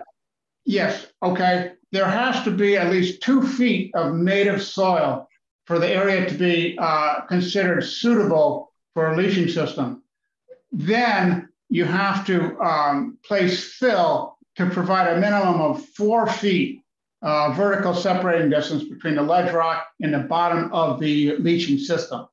So there will be uh, fill placed on these uh, on these septic systems. Am I right that the the figures at the bottom right of the plan indicate the depth of the tests? Those the depths are uh, indicated in the uh, lower left corner. Has uh, the uh, soil logs. It- they all note uh, redox, water, ledge, roots, restrictive layer, all the all, all the factors which we consider when we're laying out the septic system. The the plans, um, and I'm I'm getting my set of plans now because I I'm having a hard time re, uh, referring to them, but it seems to me that where the leaching fields are set up now at the lot closest to Flat Meadow, that uh, there were several tests and most of those tests, if I'm reading the, the thing right, didn't didn't come up with enough soil to put a, a system in. Well, the, the, the, the test in the vicinity of the proposed leaching system had more than 24 inches of soil, so they're considered suitable. It's only 24? Yes. We have to place fill to provide the 48 inches that the code requires uh, below the uh, leaching field to, to, to bedrock. Thank, thank you, Dorothy. Do you mind if we go to Peter at this point? Well, just one, one question. Uh, There was a, uh, other than this, there was mention of uh, being able to connect to uh, um, public water system. Was that considered? And if it was, why was it rejected? Uh, we did consider that, but the, the distance involved uh, make it uh, not economical. Uh, where where does the where does the public water come in? What's the nearest point? Am I right? Uh, I It's believe Mirror it's down by the corner of Mirror Lane Okay. or, or over on uh, Long Hill Road. Uh, yeah, it's it's both, I'm sure. Um, the the reason for rejecting that as a possibility would be Not economical. Just, okay, uh, just raising the potential question, if, uh, if our well is impacted and a new well needs to be re-drilled, um, there's a cost there, which uh, would be borne by your organization. Well, I, I think you'd have to establish that your well was compromised as a result of this activity. Yeah. Um, and you, Uh, If it is, just, well, that, that would be your opinion right now and probably would be your opinion at the time, but those things would have to be established and not just declared. So um, if you don't mind, I'm going to move on to Peter Thank you. Glazer. Uh, yes, thank you. Um, so this is a letter from uh, December 13th to the uh, Planning and Zoning Commission regarding the 591 Sawmill Road parcel. Um, so dear commissioners, we are abutting neighbors at 49 Thirsty Hill Road, also known as 49 Flat Meadow Road, uh, to the east of the subject parcel. And uh, we have the following concerns. Uh, one is uh, the stormwater uh, runoff and flooding risks. Um, uh, I didn't originally understand how this subdivision was happening. I thought it was three and adding a fourth, but in any case, with the addition of the fourth lot, especially lot number four, where existing lawn and vegetation will be cleared and replaced by structures, I'm concerned that this leads to a high risk of problems with water runoff. This may be exacerbated by grading and blasting of ledge because that, that section is uh, clearly uh, full of ledge and rock outcroppings. As our property is directly downhill from this area, and actually this hill is, has a steep slope, we are concerned that additional groundwater runoff will be directed toward our property due to these changes. And we'd like assurances that measures will be taken to prevent groundwater from leaving the properties as a result of these developments. Second concern is the risk of blast, blasting because of that ledge. Uh, the properties, as I noted, set on a substantial amount of ledge and rock outcroppings. We're concerned about the need for blasting and the potential impact of blasting damage on our house or foundation. Uh, should there be any damage from blasting, this is uh, similar to the prior uh, person's concern, we would expect developer to bear the cost of restoring the property to the original state. I understand your comments that we would need to establish that. In this regard, I want to point out that in 2011, we proposed to the commission to install a swimming pool in the western part of our property near to the 591 Sawmill uh, property border. It was contested and blocked by the prior owner of the 591 property, Mr. Volpe, on the grounds of risk of blasting causing potential damage to his property. He argued convincingly about the risks of blasting in proximity to existing structures. Um, and I would say the same concerns pertain here. Another point that was not brought up previously is the issue of access and right of way for Eversource and other utilities. The electric power lines and communications lines, cable and telephone run along the right of way easement on the eastern boundary of the parcel.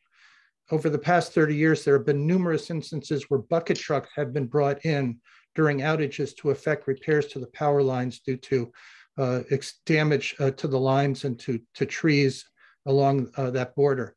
The truck access is from Flat Meadow Road along a path indicated on the site plan that's called Oldwood Road. I don't know if you can pull up that uh, the site plan that was uh, put up, um, uh, or perhaps I could share, or um, um, do I have? The, do you want Dirk, the, You can put your you, you can share Dirk or or uh, Mark. Is he talk about the wood road? Yeah. Okay, we're showing the road. It's uh, back in there. Um, yeah. I don't have the ability to share, so. Um, well, I, am pointing out the approximate location of the wood road. Yeah, we are not sharing your screen. You need to share your Nobody's screen. sharing a screen. Okay.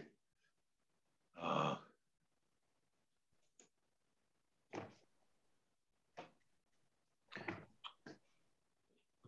sharing now. Okay. Thank you. Sorry. Oh. Yeah, so basically there's there's um it's very hard to see, but there's there's a yeah uh, there there's a little bit of it looks like a path, the double dotted lines coming off of flat meadow, heading a little bit um, to the uh, uh, southeast. Yeah, that's it. So that actually is is uh, cleared. Uh, it's it's a, a grassy path, but it's wide enough for trucks. That's where bucket trucks have come through because the the um, the utilities run along uh, the the border there. You can see uh, barely see where the, the telephone poles are. There's no other access uh, to those. So um, uh, and you know we've had so many storms from you know uh, Superstorm Sandy to other hurricanes to ice storms and and it's a spur line uh, Eversource uh, circuit um, that um, serves uh, uh our property, the Critchie property, and actually this the Volpe property, which is you know, the existing house on Lot Three, uh, and actually the the power lines to Volpe are underground from the pole that sits uh, near our house. Um, but that requires repair access for repairs. So I, I I would like to, I know I'm a little bit off script, but um, you know, I, I just want to bring to attention that this or similar access is essential to maintain uh, electric utility and other services to the uh, four properties that uh, uh, border here um, uh, that are all served on the same spur line circuit. It's circuit number 132429F2 by Eversource. Um, Peter, there, there are existing easements, correct? I, you know, I'm, I'm not, I don't know what the rules are. Um, I believe that, you know, the utility companies must have some uh, right of way, but, but I'm just making note that uh, that is the only way, physical way they can get in I, by that, that existing path. George, the, the, the, the easement and access would be maintained, is that correct? If, if I could just address that. Sorry, No, go ahead. Uh, Jeff Beatty again for, uh, uh, Griffith and Beatty. In reviewing the land records, there was no utility easement over the Wood Road, uh, to access those over this property. Um, and I, I, I don't know, I, my suspicion is that it was the path of least resistance over a cleared area to get to service those utilities. I, in taking a quick uh, look at the deeds into the Glazer property and the Creechy property, I didn't see it, that they were conveyed together with any easements over the Volpe property that would uh, allow Eversource, that, that Ever, Eversource would have the, be able to cover, to cross the, the Old Wood Road as of right to service those properties. So I, So what, what is your, um, solution opinion, for when the power, when the power goes down? the, the, the utility poles are on the neighbor's property. Um, and I would, I, s- s- I, I would say that Eversource would have to figure out a way to get in there to service those, those lines when they went down. But they don't have a, they don't have a right of way over lots one and two. Okay. So, so just to be clear, uh, the, the existing building, the Volpe House, is served by the, the, the third pole that actually borders between our pro, it's, I guess it sits maybe a, a couple of feet on our property, but it's, it's, yeah, it's right about where the cursor is. The, uh, that pole, the Volpe electric utility comes off of that pole. So I, I would say that the people living in that house are going to want, you know, um, Eversource to have access to. Because when these lines go down, it's on one transformer and all the houses go out. So uh, apart from whether this is approved or not, I think the developer and owner of this property needs to be aware that this is a, a risk. And if access is cut off, there's going to be problems. Um, uh, uh, help me if I'm wrong here, George. I don't believe we have the right to impose an easement for a utility. I don't know the answer to that question. Okay, well, um, we might have to, if, if you could note that we'd like to look into that if this gets continued, okay? Um, I mean, how, is there a way for me to pursue that? I, I have no idea what to do. Uh, but, you know, I just know that that's going to be a problem in the future for the people that live there, including the new homeowners if this gets approved. Uh, Phil? Yes. My experience is that where the pole sits is where the uh, access point would come from. So I don't think that, at least in my hi- hi- experience, that they would be able to enforce a, a easement of convenience from the past to something that is actually legal now. It's just, a- it was just a path that they took because it was there. So But my, my, my suggestion, Peter, would probably be um, to seek the advice of a land use attorney with respect to this issue and the utility access. Because we're beyond the scope of, of my knowledge and obviously um, we want you to get the best advice possible. Uh, Phil, this is Jamie. I, I have a follow-up question for George. Is this, will we, if this moves forward, is there an opportunity for the commission to see a detailed site plan review for each parcel, which would include utilities, grading, blasting? No. Or is this it? I mean, opportunity, yes, but there's no, we don't, there's no requirement that the commission approve the- the individual site development plans for individual lots. Oh. Thank you.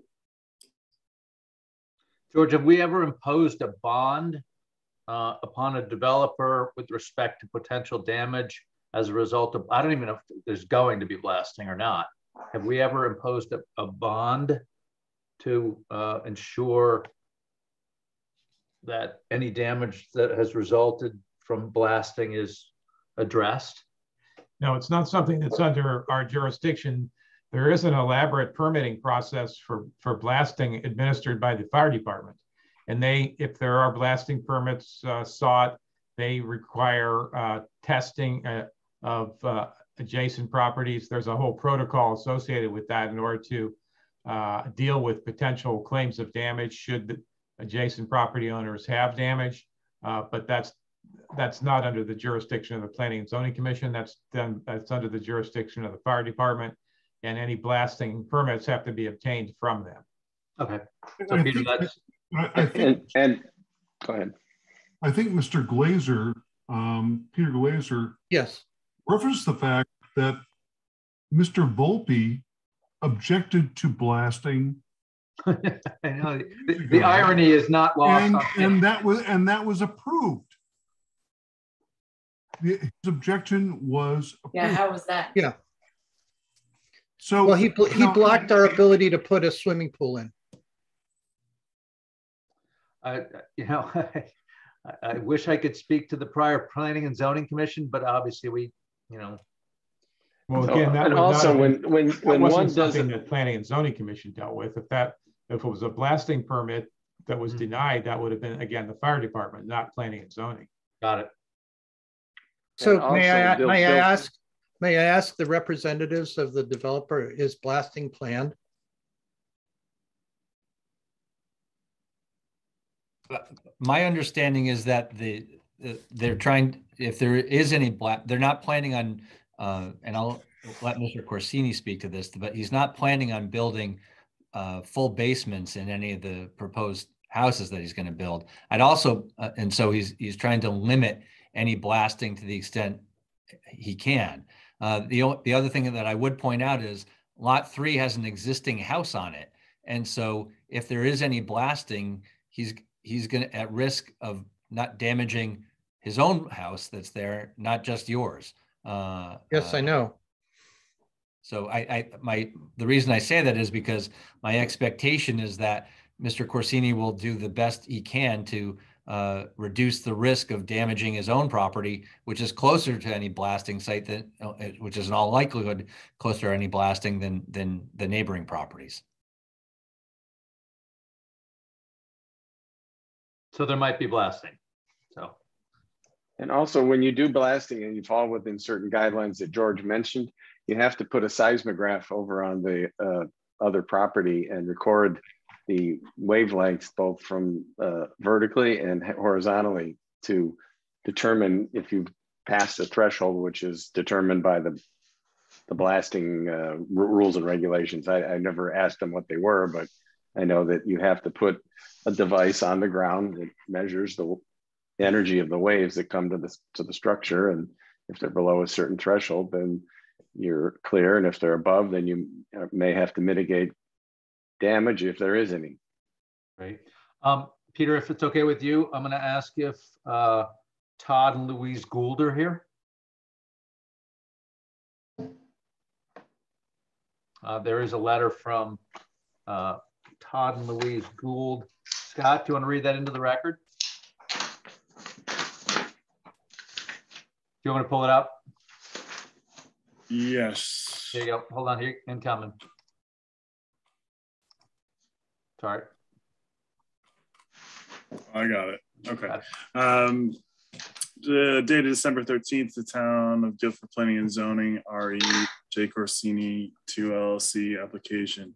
Dear Planning and Zoning Commission, we're immediate neighbors to the proposed subdivision at 185 Flat Meadow Road on the north side, directly across from Lot 1.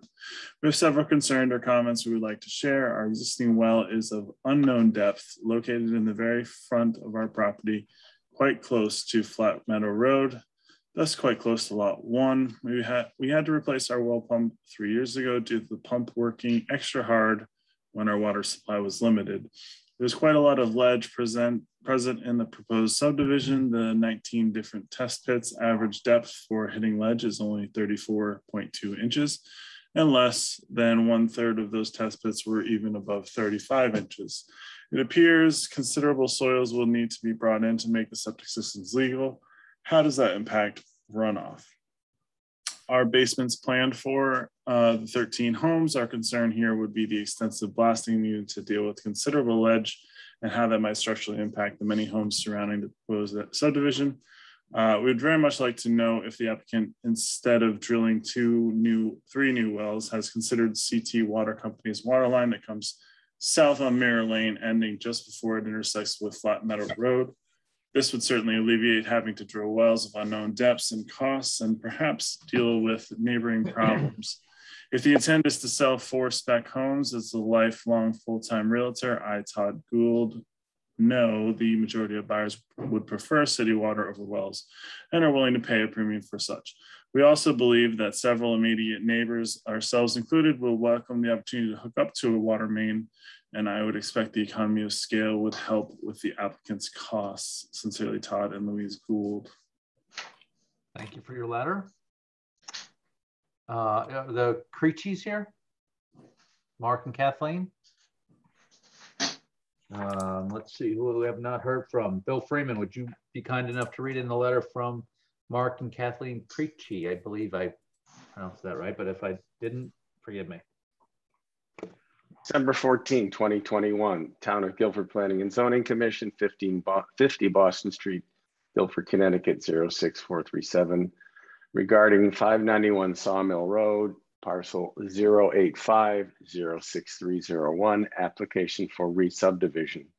Dear Commissioners, we are, are abutting neighbors at 69 Thirsty Hill Road, AKA 69 Flat Meadow Road, to the east of the subject parcel as such, our property will be impacted by the proposed development. Our concerns for this application are as follows.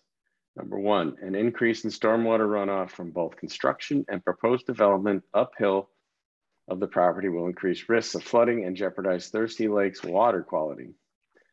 With, possible, with the possible addition of a fourth lot, currently existing forest, lawn, and vegetation will be cleared and replaced with impervious surface, leading to significant risk of problems with water runoff. This may be exacerbated by grading and blasting of ledge. As our property is directly downhill from this area and, th and this hill has a steep slope, in quotes, we are concerned that additional groundwater runoff will be directed toward our property as well as Thirsty Lake due to these changes. We would like assurances that extensive measures, uh, I gotta find myself here. Extensive measures will be taken to prevent any groundwater from leaving the property as a result of the development and what those measures will be. Of final note, the clearing of existing forestry and natural landscape will greatly disrupt the natural habitat and wildlife crossing within the surrounding ecosystem. With the recent developments on Long Hill Road, there have been increased wildlife encounters, especially coyotes, fox, black bear, and fisher cats. May our little Bella dachshund rest in peace. Okay. All right. Gotcha. Oh, sorry. Risk of blasting due to extensive ledge. These properties, especially lot four, sit on substantial amounts of ledge and rock, out, rock outcroppings. We are concerned about the need for blasting and the potential impact of blasting on damage to our house and foundation. Should there be any damage from blasting, we expect the developer to bear all costs involved in restoring the property to its original state. In this regard, in 2011, the neighboring property at 49 Thirsty Hill Road proposed to the commission to install a swimming pool in the western property part of their property near 591 Sawmill property. It was contested and blocked by the prior owner of 591 property, Mr. Volpe, on the grounds of the risk of blasting caused potential damage to his property. Mr. Vol Mr. Volpe argued convincingly about the risk of blasting in proximity to the existing structure.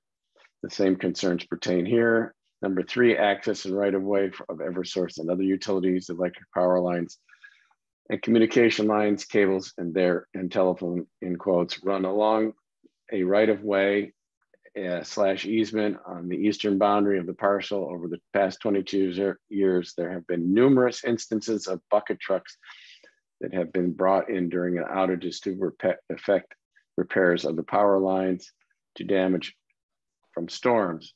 Truck access from Flat Meadow Road along the path indicated Old Wood Road on the site plan submitted to the commission. This is similar, this is or a similar access is essential to main services to the Fletcher, Glazer, and Kurchichi properties, as well as the existing Volpe house on the site, all four of which are served by the same spur line circuit, which is designated as circuit 132, 490, 429, F2 by Eversource because it is not along a road. Preservation of access to this is a critical consideration. We would like assurances in me that measures will be taken to provide for continued rep utility repair truck access to the power lines. Number four, impact on existing wells.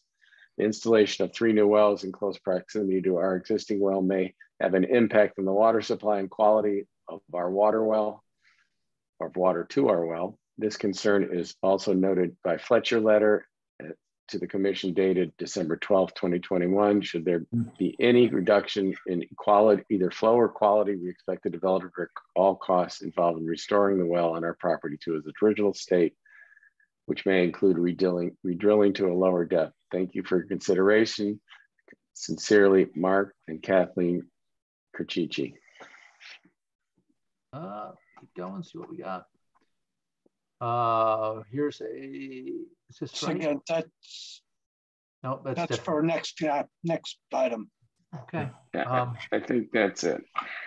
So we're, we're done with the letters. Um, would anyone else like to speak in favor of this application? I, I have a letter, uh, Dirk Goss, Waldo and Associates, I'd like to read. Certainly. Um, can I, can I try to share? Try. Uh. Let me, let me stop my share and then you go.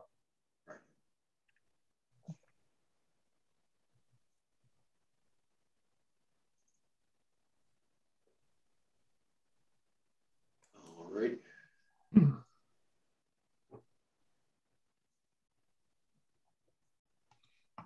Try here.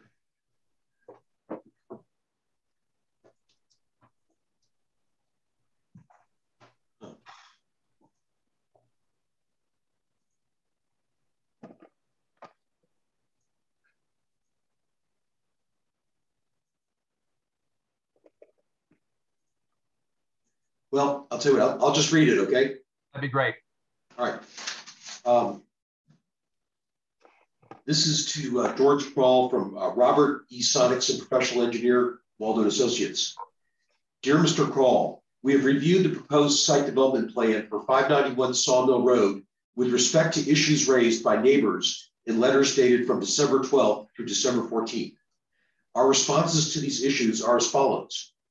Wells, septic systems shown on the proposed site development plan, dated, revi dated revised December 7, 2021, comply with the 75-foot well separation distance required by the State of Connecticut Public Health Code.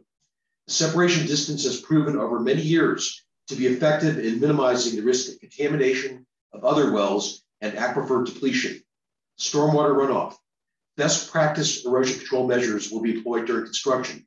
Appropriate stormwater management measures are proposed. The overall grade along the property line slopes to the north. Regrading for septic systems will not change this condition significantly. The septic systems shown are conceptual, are intended to comply with the Guilford subdivision regulations. Septic, septic designs will, will be reviewed and approved by the Guilford Health Department during the engineered septic system phase of the project in connection with home construction. Minimizing potential surface runoff and compliant separating distances to property lines will be maintained. Blasting. The proposed houses will be designed with crawl spaces rather than full basements to minimize blasting. Any blasting, such as for utilities and drainage lines, will be conducted according to the latest safety protocols. Very truly yours, Robert E. Sonicson, professional engineer. Uh, are there any other letters or would anyone like to, let's see, speak in favor of this application? Uh, would anyone like to speak against this application? Again, I would say if I. Oh, there's a there's a hand raised from the Z family. Oh. Yeah. Um. How you doing? This is uh, Mike Saransky again with 559 Sawmill Road.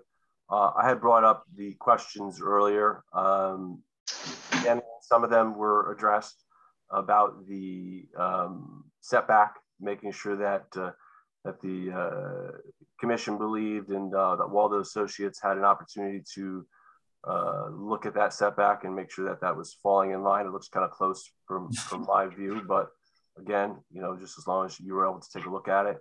And the existing well, obviously that is, that's my well, that's my family's drinking water. So obviously I do have a concern where it looks that the, the perimeter or the, you know, the very edge of the proposed um, septic system does come up right to the edge of that 75 feet. Uh, we're probably talking inches. So, um, you know, again, just making sure that uh, uh, that is giving proper attention. Um, I certainly would be uh, concerned if there was any issue related to the well. And of course, I'd probably uh, also uh, reiterate some of the earlier comments about blasting. I can tell you that that is pure rock there. It's exposed rock, it's exposed bedrock, because I know because I have the same thing um, behind my house. Um, and it extends directly into that property um, quite a bit. So um, I mean, perhaps not where the house is. I, you know, I'm not sure how you played it out, but obviously there's there's substantial rock in that area. So the blasting concern and having a house from 1960 and a foundation from 1960, again, I'll, I'll echo that blasting concern and uh, what that could possibly have to do with uh, quite a very old foundation, which is probably not more than a hundred to, you know, we can measure how far it is, but we're not very far away from the proposed uh, you know, property on house uh, lot four. So again, that would be just my uh, my concerns. Um, you know, I'm sure there'll be beautiful houses and look forward to having new neighbors, but I think it just it would make sense for the commission to and work with Waldo Associates to make sure that uh, those concerns are being met. Again, the the well, making sure that we are not any closer than necessary to my existing well, and uh, making sure that that setback is in fact going to be achievable again, that that lot four does look like, like I mentioned earlier, is pretty well shoehorned in there. It's a looks like one of the toughest lots that are proposed. Um, quite a challenge to fit it all into that space. So just again, having uh, everybody just take a quick look at that and make sure that uh, um, we're doing everything correct there. Yeah, obviously the, the building department um, would have to approve, as well as the health department approve um, septic location, and, and full knowledge of where your well is. And if it's not within the compliant distance, they would tell the developer such. Um, with respect with respect to the blasting, I would again perhaps um, have you. I'd encourage you to consult uh, George with the fire marshal. Is that correct? Yes. I would encourage you to consult with him and say, you know, here are my concerns. What, you know, can you help me understand it? And you know, what can we do to mitigate it? Again, I'd encourage you to seek the, the advice and counsel of the professionals, and I'm sure George um, can help you do that for a period of time. Okay, this is Dorothy Velosa. I have a comment or question. Sure. Uh, one, 179 Flat Meadow Road. And I guess I'm going back to the issue of access by the utility company. Obviously, uh, it doesn't appear as if there was a right of way granted or whatever, but it's uh, there's obviously a strong need to make sure that utilities are able to be provided. I'd like to understand how that's going to take place and whether it's the developer together with the utility companies that will provide some solution. I would like to know what that solution is. George, uh, I mean, to the best of my knowledge, there is no easement in place with respect to the utilities. Um, it's obviously in everyone's best interest, but I think it probably comes to a legal matter and Attorney Beatty can help me out here as to um, what can be imposed upon a developer with respect to utility easements for utilities that are in place, if any. I I don't know. I don't believe that the commission can require that the applicant grant an easement over his property to uh, the neighbors for utilities, particularly when the utility poles that are serving those properties are on the neighbor's property. I mean, I, I certainly wouldn't be in a position to negotiate with Eversource what type of easement to serve uh, the neighbors' properties for utility poles that are on the neighbors' lots. Uh, you know, obviously, uh, you, Eversource has an interest in making sure that their customers get power delivered. Uh, but I can I can share with you that in other matters, there, there unfortunately over the development of properties throughout the state, there have been many instances when utility poles were installed without easements being granted to the utility companies, and the utilities companies take this up take the opportunity when somebody wants to upgrade their service or relocate a telephone pole to say, hey, you know what, we don't have an easement over this property. Let's try and get an easement put in place. Uh, but again, I'm sorry, again, there there will be an issue because those poles and the utilities will be servicing the new development. So it is a shared responsibility. Well, that I guess that's an open question is where, how are the new houses going to be served?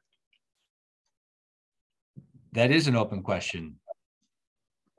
I mean, at, at the moment, the, the lot three old Volpe house is served by this same spur line coming, come, and, and his, his service comes off of the pole that's on my property, the Glazer property. So it, it would be in the interest of the homeowner there to preserve access in some fashion. Uh, and uh, I would assume that the other properties will similarly come off of that spur line unless I don't, you know, the developers here just can some, can you state what your plans are for electrification of the properties? Yes, uh, Frank Corsini. I don't know if you can hear me. I'm just looking. Can everybody hear me? Yeah. Okay, Frank Corsini. Um, I live on 478 Sawmill Road, right down the street from the property. I've been here for 30 years, been in town for my entire life. The, the, the, the answer to the immediate question is uh, lots one uh, and two are going to be served uh, from a pole on Flat Meadow Road and from the power source on, there's an electrical power pole right on Sawmill Road that is right near lot two. So those two will be served from those areas, not from this line that we're speaking about that's on, on the neighboring property. The uh, lot number four, again, will be coming off of a pole that's on Sawmill Road. So we do not plan to utilize the poles um, that are on the eastern side of the property. So what, what about the lot three? Lot three, the existing house? Yeah. Uh, that was just, we just found out that that was tied into that, uh, that pole today.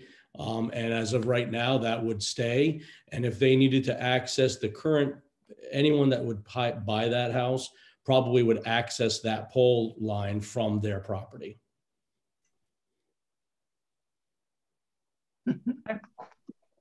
I hope that answers some questions. I know there are still questions out there, um, but I'd like to keep things moving along. Um, is there anyone else that would like to speak in favor or against this application? Would someone like to make a motion to close? Motion to close. Second. Okay, I'll call the vote. Sean Cosgrove. Frank D'Andrea. Yes. Jamie Stein. Yes. Richard Wallace. Yes. Scott Edmond. Yes. Bill Freeman. Yes. And I'll also vote to close. Uh, we'll have discussion on this, obviously, after we go to the next two items. Next item is Christopher Healy, Boston Post Road, map 78, lot 13, zone TS-2R slash 8, petition for zone boundary change. Who's here to present this? Yes. Hi, Hi. Attorney Beatty. Good evening. He's on overtime. So thank you, Mr. Kral, for bringing that up. So this is uh, our request uh, in connection with the application to change the zoning map uh, to designate the entire parcel at um, Assessor's Map 78, Lot 13 within the MUC2 zone in connection with the proposed uh, mixed-use develop, development of the site with a commercial building uh, towards uh, uh, Boston Post Road and eight proposed condominium units towards the rear of the property. Uh, this application was submitted following our uh, public hearings on a prior application in October and in November, where the um, the sense that the applicant got from the commission was that a more preferable uh, designation of this lot, rather than making it all TS2 uh, as it is, as it partially is right now, it might be a better fit uh, from a development perspective to change it to an MUC2 uh, zone uh, designation, which would limit the types of uh, activities that would be permitted on the site.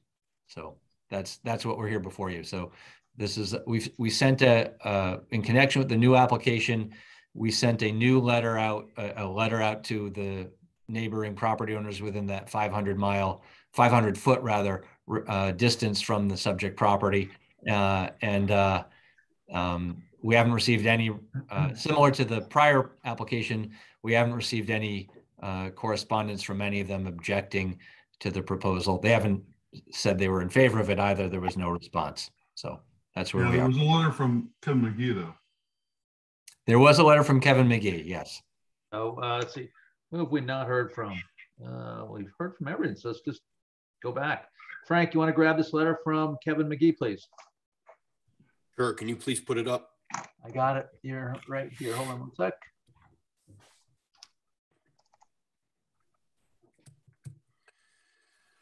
Uh, dated December 14th, 2021 to the Guilford Planning and Zoning Commission from Kevin Magee, the environmental planner. Um, this is a zone change proposed from an R8 to an MUC2, Boston Post Road. Um, do we have a number on that? No, it doesn't number give it us the until it's approved. Okay. I am opposed to the proposed zone change for the southern portion of the property located at Boston Post Road, Assessors Map 78, Lot 13, from an R8 to an MU slash C2. The propo- proposed zone change would be harmful to the environment with the rear portion of the property sloping towards the adjacent significant wetland systems of Wolf Swamp and Hoadley Creek. The uses in Table 5 of the regulations for the MU slash C2 zone that I see are harmful to the significant wetlands area are lodging facilities, short and long-term healthcare facilities, increased density of housing units, eight per acre, retail manufacturing and compounding facilities, research laboratories and printing and publishing establishments. The increased density with eight units per acre lodging and healthcare facilities have a high sanitary flow towards which could affect the significant wetland system. The Town of Guilford Natural Resource Inventory and Assessment published in January of 2005 noted this area wetlands, which is located south and west of the zone change on the Guilford Land Conservation Trust property as significant wetlands. Recognizing the importance of the wetlands complex, the Natural Resource Inventory recommended an intact 300 foot uplands buffer around the significant wetlands. Keeping the southern section of the property as a residential as R8 zone helps to maintain a buffer adjacent to the significant wetlands. Can you scroll, please? Oh, I'm not sure. Or is that it? Oh, that's it. That's it. So, um, any You're on a comments? roll. You're on a roll, Frank. Yeah. I didn't want to stop. I have Uh, a question, uh, Phil. I, I, maybe I'm confused as to the last meeting that we had. Is I thought that that was the zone that was allowing for all those different types of uses. No, the, the, the TS2 is a much heavier industrial use zone.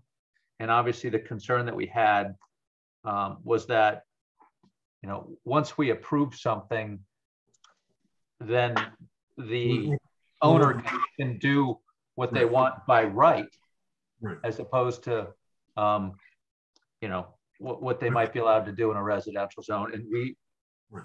made a request that the MUC2 zone um, is much more restrictive in terms of activities that can be done. Obviously, Kevin Magee lists a whole bunch of things that, to the best of my knowledge, are not being proposed.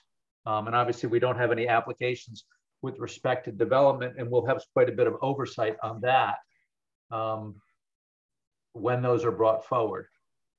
Okay, thank you. Mr. Johnson, the, the one thing that I would add to that is that one of the items that Mr. Magee does highlight in his memo and uh, is that is the increased density of housing units on the property. And that is what we are proposing to do with the condominium unit. So I don't I don't want it to seem as though No, no, no, I understand. But yeah. you're not looking to put in a compounding facility or research laboratory, that, printing or publishing? No, no, we're not looking to do either. Healthcare? Nope. Okay. You know, retail manufacturing? I don't think so. I, I don't know what the commercial use uh, toward, but that that commercial use is closer to, towards the post road, and I think would be outside oh, of that I mean, 300 foot upland buffer. I, I, I do appreciate uh, Kevin Magee's input, but I think we, in, in my opinion, we you know we will see an application that we will have oversight on, uh, and and to the best of our ability, um, protect the you know inland wetlands as opposed to basically restricting this to a single family home. Right. I, I have a question about the three 300 foot upland uh, buffer. That's just a suggestion. Is that, am I reading that correctly? It's, it's not an a, a recommended, but it, it, still it holds to the standard of 100 for if you went before wetlands with this. The upland review area. Yes, that's correct. Okay. Uh, Attorney Beatty, this is Jamie. Can you can we put that map back up and can you just kind of show us what 300 versus 100 feet from that uh, re natural resource is? I just don't know if that's indicated on the map. I'm just trying to get a sense for the recommended buffer versus the required buffer. Uh, unfortunately, neither uh, the survey that George, if he's able to bring it up, won't show where the wolf swamp boundary is because it's on the land conservation trust property. It's not on this property. And we didn't survey that uh, uh, to show where that boundary might be. The other issue, and I would normally try and help, is that the GIS viewer is down. Oh, geez. Hmm. So, I mean, just just kind of, I guess, I guess I can rephrase the question. Does the 300 foot buffer render this parcel in question unusable? I don't think it renders it unusable. I, I think the from the site plan uh, drawing that my client had prepared, and I don't know if George, if you have a copy of that in your in your files, it yeah, looks I, be. I should have that. But it, it also shows a 500 foot circle around it, so you get a certainly a sense of scale. That's true. Uh, I guess the issue is we don't really have any knowledge as to where, you know, from the current drawing, where Wolf Swamp or Hoadley Creek. Yeah, we can't, we can't right. tell.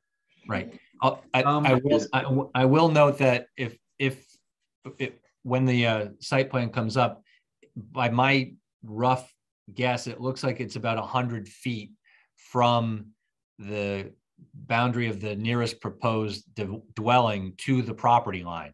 So um, yeah, right, right that? down. Yes, thank you, George. If you go down George, to the George, do, do you know where the wolf thing uh, swamp is, George, Ge geographically? It's down in this area here. Okay. Yeah. No, that's the Racchio property that was recently sold. Oh, the, no, sorry. So it's down, yeah. It's over, it's in this area here, the, the land trust. exactly yeah. where it is, I can't, I don't, I don't have that information. Um, but so what's the rear setback there? I can't tell uh, the distance there. Is it 30, 50, 30 feet? The setback from the property line? Yeah, just so you get a uh, sense of scale. Uh, that's a, hmm. um, what's the distance from here right now? I don't know. Yeah, yeah, that's um, let me try to see if it looks like it. it looks like 80 feet in my estimation. Oh, Oh yeah, because maybe down at the bottom you could see that. Uh, you know, If you go down. So. I don't know. This yeah, is the on the left. On the left, there's a point to point from the corner to the first point. That's 41 feet. Oh yeah, exactly. Good call. And so, So that's 80 it- feet right It's there. about 80 And- feet, probably. Yeah. I think this must be the 50 foot line right here. That would be my guess. Yeah. Oh, that's that looks more like 20, but yeah. On the Uh, side. I don't I meant, know. I meant, I meant from the distance to the uh, Conservation Trust property. Okay. I don't see Yeah, I any think other that's about, dimensions on this uh, map anywhere. Jeff, is this property just south of the red roof? It's just west of the red roof. As you're headed towards Branford, you go past the red roof and Here's it's. the red, this is red roof right side. here. I think this, this is red roof right here. I think you're I'm right. I'm gonna quick screen share for you, Jeff. Yeah, please do. Conceptual versus. No, I, I, I do So, think that. so if this is, if, if, just to give you a sense of where, where we're talking about again, here's um, Guilford Com, Guilford Commons with Rock Pile, sorry. And when you go up the hill, red roof is here, and we're talking about this property here coming back, going diagonal. I can't exactly do it, but Right. like that. That's accurate. Yes. Okay. Yeah. Just wanted to, and I, uh, again, I, I can't specifically tell where Wolf Swamp or Hoadley Creek would be, but I'm assuming that this area here Yeah. is the Land Conservation Trust That property. kind of, that kind of brighter green is the uh, swamp. Yeah, I would go with the different shading and be where the wa- Yeah, water is. right, right, right. right. Okay, so I just, again. Thank just from you. a Perspective standpoint. Um, Are there any questions from commissioners? Um, Are there any questions or comments from the public with respect to this application? Um, I guess I would throw it back. George, do- are we required to have two meetings with respect to a zone boundary change? Subject to the, subject to the waiver, yes, you can wait, you, you're required, but you can waive, just like any, just like any other application. Okay, well, then I would, um, if we were to require a second application, we would not close, we would continue, right? Yes. So I, would- I would kick it back to the commission just to get a feeling for how you feel about this as to whether or not you want to continue this to another meeting or you want to close and act on this this evening. I'm in favor of should closing and acting. Thank you. I, I'm- I echo Bill's sentiments exactly. Okay, Scott? Uh, Okay, I, yes, Sean, I would continue. okay, Frank I'm good with closing. and Jamie. Um, I'm uh, somewhere in the middle. I mean, what what further information could we get from a second? I mean, Sean, what are your thoughts here on what what other information? Well, I- you know, what I'm, what I'm thinking about is the, is the conservation land and the, and the, and the drainage issue and you know, just want to know more about what's going to be happening with runoff because Right, and I, I think we get a lot more of that when in fact a development plan comes before us. Um, yeah, I, I Okay. think that's kind of where I follow, follow along similar lines, Philip. With like that's the, the special permit process.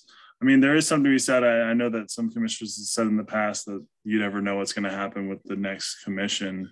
Um, but at the same time, like the commission is supposed to be representing current public opinion, right? So yeah. I don't know if we can really plan against that. Um, I, I think I have. So, a- but Scott, Scott, what are you saying? No, I'm saying I'm saying I personally feel that having that special permit in place, I, I'm agreeing with Phil of like, there's a mechanism for us to ensure that the proper drainage and, and whatever else is, is in place to protect the natural resources um, as part of a special permit process. I'm saying that previously, other commissioners have said that they're concerned about that, uh, leaning on that ability because you never know what the next commission's makeup is going to be and what their opinions are. I just, I personally feel like that's not a, that's not something we can really make a judgment call about now. Um, I think, I'm gonna have to double check this, Scott, but I think that multifamily housing in this zone is a site plan application, not a special permit. Okay. Uh, I'm gonna have to, I'm gonna take a moment and double check That- that. that- Sure. Yeah, Unless you know so- the answer to that, Jeff. Okay. But I think as Phil points out, it still comes under our purview uh, as to, right. and it's gonna gotta, it's gotta go before wetlands, correct, uh, Jeff? Still, has- still is a super wetland application, yes, it's still, and it's, it's still a site plan application. Um, you have all the protections associated with those things. Okay. So that, it's a question of whether, yeah, you want to lean, Thank you. lean on those. I think the point we gave before was that we wanted to Excuse me, tighten up. just, just a second, I have to go through. George, you just muted yourself. He, oh, he, I think he has to take a bio break. But I have a, I have a question again. Um, do we do in a site plan review? Do we have the ability to talk about the extent of clearing of a lot? I mean, this is a this and the previous application are heavily wooded, and I just I'm worried about the ability during this the additional opportunity to comment on the development. Uh, I, in in my knowledge, we don't we don't really have the ability to to talk about lot clearing. That's not in the regs, is it? If I recall it, they I believe they have to note trees of significance. 18 inches or larger, I think it was. So, Welcome back, George. Um, Sorry, I had, I had to turn the alarm off in the building. Oh my God. The fire department's coming. I don't know. um, Used to be, Ten it used o'clock to it be the police be, uh, headquarters. So I think at Um, ten o'clock it must go off. Oh, well. It's not the George, I. I had a question. Um, y- you know, if, if we do move forward with this and it, and it comes back for a site plan review, do we as a commission have an ability to regulate or uh, discuss clearing of the site? It- it is- Absolutely, yes. We do. You do, and the Wetlands Commission will also, also has a substantial authority uh, with regard to clearing and grading. So in fact, they're, I think they have more authority than you do in Okay, terms of that type of issue, assuming it's, assuming the work is taking place within the, uh, the review area, which it would Okay. be, it would be in this case. so the site plan would show sort of like trees being cleared, landscape plan. Absolutely, yes. Oh, I mean, my, my main concern is just the, the, the, the lowlands that'll be impacted by drainage, clearing of trees, runoff. And I think uh, Jamie was referencing that also. So I just, you know, I just want to be sure that we're covering all the bases to make sure that um, conservation land is not impacted. So does that mean like uh, infiltration rates on the property and Uh, yeah, knowledge sure, where the of wetland is in proximity to But the I, I, I think inland wetlands, as, as George stated, would probably have a lot more influence in terms of restrictions uh, and ability to I- make I- decisions to protect. I, I would hope so. Yeah. Um, that being said, um, would someone like to make a motion to waive the second public hearing and close? So move. Second. Okay, um, I'm gonna call the vote on this one then. Uh, Sean Cosgrove, Yeah, aye. Frank DeAndrea. Aye. I'm with, by the way, I'm with you in terms of doing all the protections, but I, Yeah, Uh, I, I, I know, I know. Jamie Stein, Yes, Richard Wallace, Yes. Scott Edmund, Yes. Bill Freeman, Yes. and I will also vote to waive and close. We'll act on this this evening, Jeff. Thank you. Hey, just to, just to reassure, reassure people, um, as most of you probably already know, the Guilford and the Wetlands Commission is, uh, I want to say notorious for the aggressiveness in the manner in which they protect wetlands. They're militants. I would, Well, I would, well, yeah. I would, Yeah. I Well would put. rather use, I would rather you say historic rather than. Diligent. They're just Diligent, diligent, not militant. Diligent. Yeah, yeah. Don't don't. don't Yeah, notorious could- is not the right word. Could I suggest zealous? Could I suggest zealous? All right, comedy hour's over. Russ has been waiting very patiently. Next item, Eagle View Homes LLC, 405 Brookfield Street. Map 28, Okay. Lot 5, Zone I1, special permit, site plan and coastal site plan to demolish existing site and construct three 5,962 square foot residential buildings with underground parking and three dash four bedroom units. Thank you for your patience, Russ. Sorry about Wow. our diligence. And Wow. the floor is yours. Great. Um, thank you very much. I'm Russell Campagna from CK Architects, uh, 131 Boston Street here in Guilford.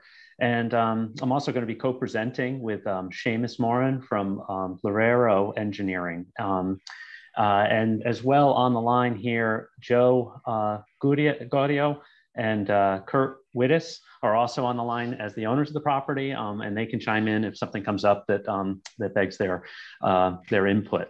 Um, so I'll give a, a brief history of um, what we've been doing with the property, exploring options for it, and um, and then I'm going to pass it to Seamus to present the site, and then he'll pass it back to me to present the architecture, landscape, and lighting, and uh, probably address some of the letters that have been uh, submitted. So first, um, uh, there was a approval for this parcel uh, with a 15 unit townhouse development, similar to what we have laid out um, that was approved in 2015. Um, the uh, owner of that property at the time never executed it um, and uh, it was bought um, by my clients. We explored that and felt that actually the width of the property um, and really how, how the lit units laid out and their density um, was too much for the property. So we explored many different iterations um, and actually um, took several to a fairly high level to sort of see and test them out. And a lot was happening with understanding of what the FEMA constraints were, um, what the criteria of the town center south was, et cetera. And we actually brought a couple iterations both to staff and to um, uh, design review for feedback. Uh, the first iteration was a higher density development that had um, three seven unit um, apartment flat style buildings.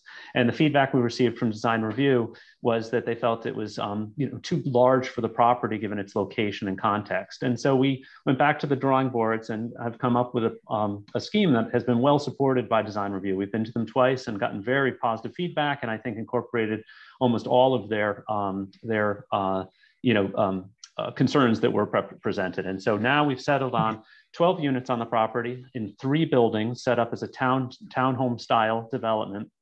And one thing I would like to correct on the notice um, is that the 5,000 plus or minus square feet, that is the footprint of each of the three buildings. It's not the area of each of the units. Um, so I just wanted to sort of correct that.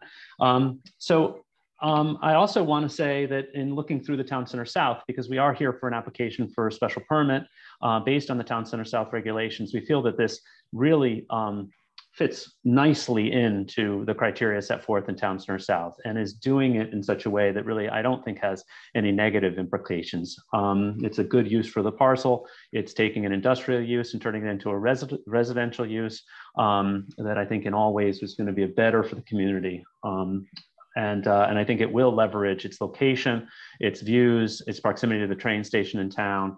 Um, so I think on all levels, it's it's quite good. So with that said, I think um, we can pass it over um, to Seamus if we can share screen, um, and Seamus um, can introduce himself and actually present um, the site engineering portions of the site plan. Thank you, Russ. Uh, thank you, Commission, uh, for staying late and having us tonight. My name is Seamus Moran uh, professional engineer in Connecticut. Uh, I'm part of the design team uh, representing the applicants um, for their project located at 405 Whitfield. So I will share my screen if that's okay now, and I can walk you through the existing condition, um, some proposed conditions, um, before I turn it back over to Russ, who can go over the exciting stuff, which is the buildings uh, and the architecturals. So um, For now, I will share my. Can everybody see the screen? Hopefully it's going to load here. Yep. Yep. Okay, so I'll start with the existing conditions. So uh, you may be familiar with the site. It's located at uh, south of Whitfield Street at the corner of Pages Lane and Whitfield Street. Uh, it's a developed site right now. Um, there were two former buildings, one about just under 5,000 square feet and one just over 1,500 square feet. Those are actually recently removed. It's shown on the existing condition plan. The existing condition plan was done several months ago. Since then, those buildings have been removed and demolished. Uh, same with the bituminous pavement. Um, there is bituminous pavement out there and some gravel. Um, some of that is disturbed at this point, but it's, it's still um, substantially there. Um, there are utilities in Pages Lane and Whitfield, both gas, water, and overhead power. Um, the entire parcel, what, what, you see here before you is actually about three acres of it. The entire parcel is about 7.3 acres. The rear 4.4 acres of the parcel is tidal wetlands. Those were flagged by Jim Cowan back in January. Um, so what you see here is the 2.9 acres of upland area um, that remain in the northeast section of the parcel. Um, we're in the industrial I-1 zone and the Guilford Town Center South zone and also the coastal area management zone. Um, so we are here for a special permit for the multifamily development in the special um, in the Guilford Town Center South Overlay District and a site plan application and a CAM application. Um, so next, I'll just go on to the proposed condition here. Uh, I'll keep it uh, zoomed out uh, so we can get a general idea here three buildings you see here, um, working from actually right to left on the page, is Building A, Building B, and Building C. Um, we are proposing three separate buildings. Each of these buildings will have four three bedroom units in there. So a total of 12 units, uh, each with three bedrooms in it. Uh, we're proposing a, a, front access drive with some uh, 15 uh, surface parking spaces for some overflow parking and accessible parking. Um, on the Whitfield side of the units, on the back side of the units, we're proposing a, a separate entrance for some drive under garages. Uh, each unit will have a two car garage dedicated to each of the units for a total of 24 drive under parking spaces within the garages. Um, as I mentioned, utilities, we'll, we'll, be accessing utilities off of pages. We'll have a water and gas line um, to the rear of the units here. I won't get all the way in. I'll probably get too much into the weeds. Um, but um, in the rear drive, we're proposing a gas line and a water line coming off of pages. And out in the front, we currently show uh, underground electric um, along the along the eastern edge of the of the development, which, um, as you'll as we'll get into later for Janice's comments, we'll see we may be relocating that to the west side of the development. But for now, it's proposed on the east side. Um, we are proposing some um, walkways uh, throughout the site, we're proposing a walkway along Pages Lane um, and also a public use, uh, I'm sorry, a, a, uh, a public uh, access easement, I'm sorry, public access easement along Pages Lane. That's this hatching that you see here. Um, that'll get, that'll provides access for uh, the public to come down our property. Pages Lane is actually owned by um, the developers themselves. So it's a public access easement to come down Pages Lane over the walkway that we're proposing um, to just south of the proposed drive um, across a boardwalk to a platform so the public can access the platform and um, view the wetlands um, and um, that we provided. So um, moving on to the grading and drainage, I'll go over that quickly.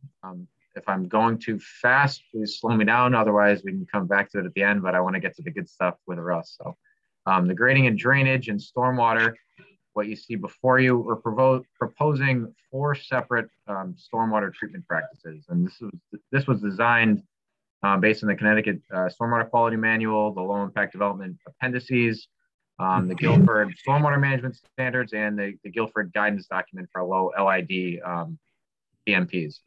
So we have before you here is on the front of the property, uh, everything is grading from the front of the buildings out to a shallow pitch swale. Uh, this is called a grass drainage channel as it's defined in the water quality manual. And that's designed to attenuate um, and it's designed to slow down some of the runoff, allow it to infiltrate and treat the runoff before it gets into uh, the natural grade along the eastern property line.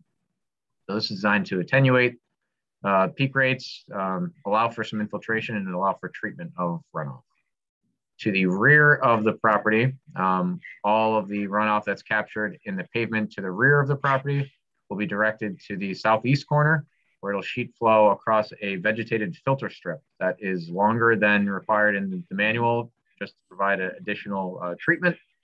Um, and that is designed to treat the treat and infiltrate the water quality volume. So this was designed based on uh, hydrologic group soil, uh, hydrologic uh, soil uh, group C, which uh, was only a 0.1 inches per hour infiltration rate. So it's designed to have a berm on the down gradient edge. Um, so the, the runoff will uh, get to the edge of the pavement here, sheet flow down the vegetated filter strip, will allow, it'll pool maximum of 12 inches deep to, to infiltrate the water quality volume before it spills over um, uh, sheet flow over the, the spillway. Um, an additional um, BMP that we're pro providing, providing is uh, an infiltration somewhat basin below building A. Um, so what you'll see is there's this faint hatch that you probably can't really tell from, from Zoom. There's a faint hatch underneath the back two thirds of the building. That's a one and a half foot bed of stone that is designed to infiltrate the roof runoff from all three buildings. So you see all these uh, roof leader collection pipes. Those are all discharging to this stone bed, one and a half feet of stone below the building to allow it to infiltrate into the uh, underlying soil. There's an under drain and outlet control structure designed uh, to allow the larger storms above the water quality volume to bypass and discharge um, just outside the, uh, the water, uh, the um, coastal jurisdiction um, last but not least, we uh, on the far west side along Pages Lane, there's a low point along Pages Lane that we are just collecting the runoff along Pages Lane and some of the grassed areas, discharging it to a hydrodynamic separator that's designed to, to remove 80% uh, TSS in the water in the water quality flow, um, discharging to a level spreader, and then discharging um, sheet flowing overland after that. So four separate stormwater management practices uh, designed across the site. Um, so that is the, the crux of the stormwater design. Um, if you go on to the next page, erosion sediment control, I don't really have to get too much into this, but we are providing uh, obviously um, substantial E&S controls, uh, construction entrances, hay bale back silt fence, uh, temporary diversion swales, and temporary sediment basins as necessary.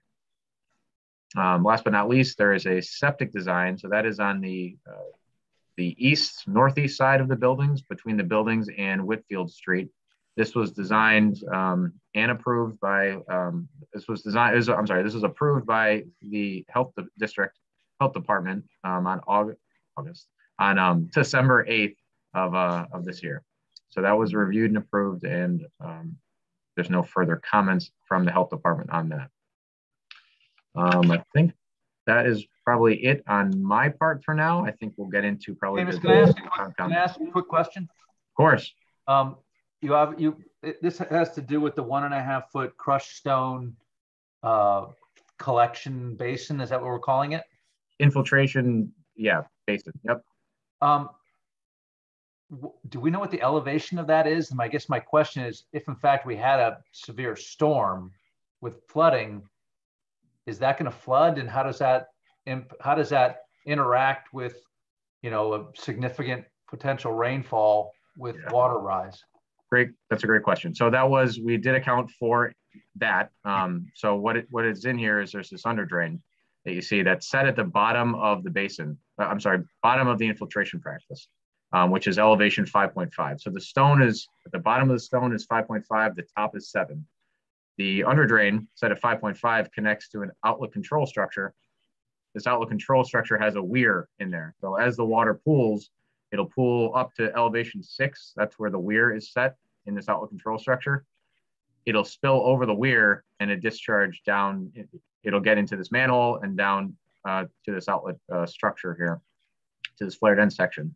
So it'll start discharging at elevation six. So actually the water quality volume is everything below elevation six, where our, um, uh, our actual top of our, our infiltration practice is elevation seven. So there's another foot of pooling uh, on top of uh, the six inches of infiltration below the water, the, the, the weir. And what- so, it, So, it- so following up on Phil's question, what is, what is our Guilford's high water mark for that area of town? So we have uh, a lot of soil testing on the site, and we had to, to demonstrate what we ended up demonstrating on the septic plan is that based on all the soil testing that we have available to us, that it's uh, flat groundwater um, across the site, and we averaged the maximum high groundwater across the site, and it came out to elevation 2.7.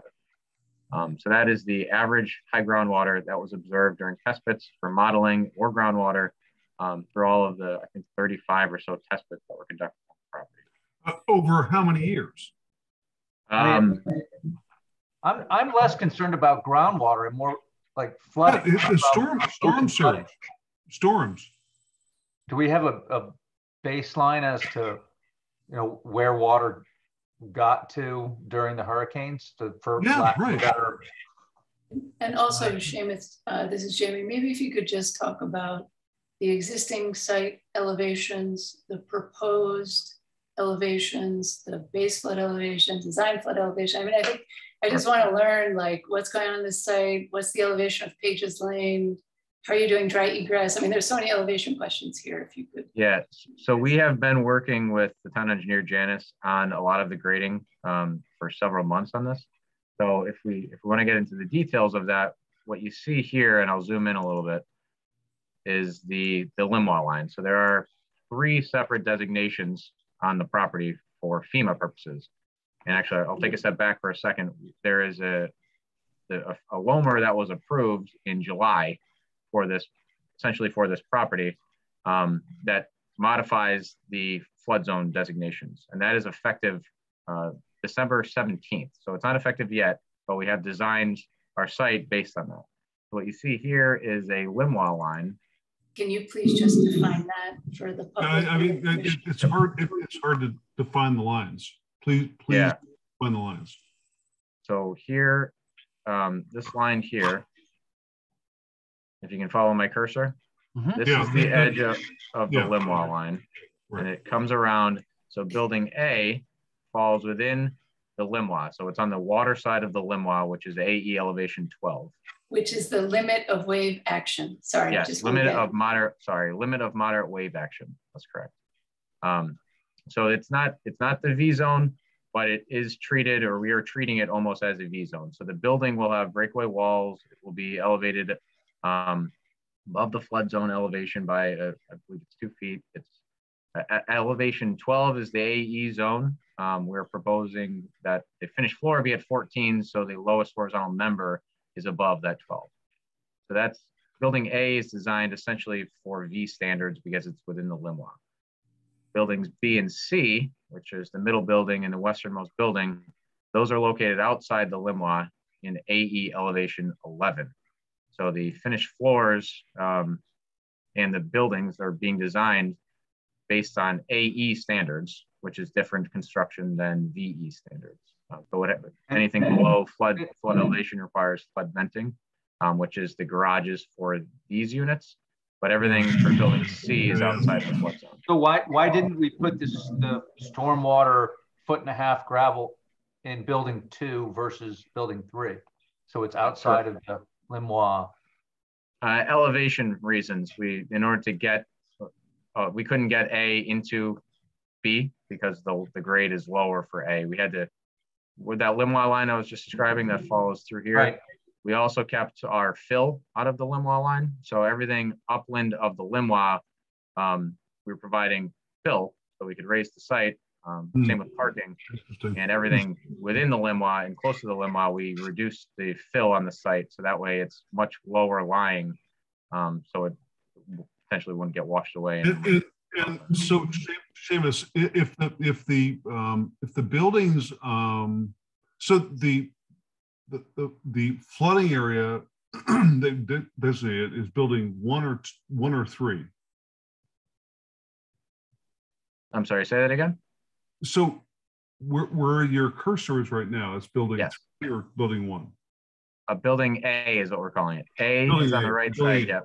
Okay, so if there is flooding in the in the other two buildings, is there conduit to take it down into those other areas?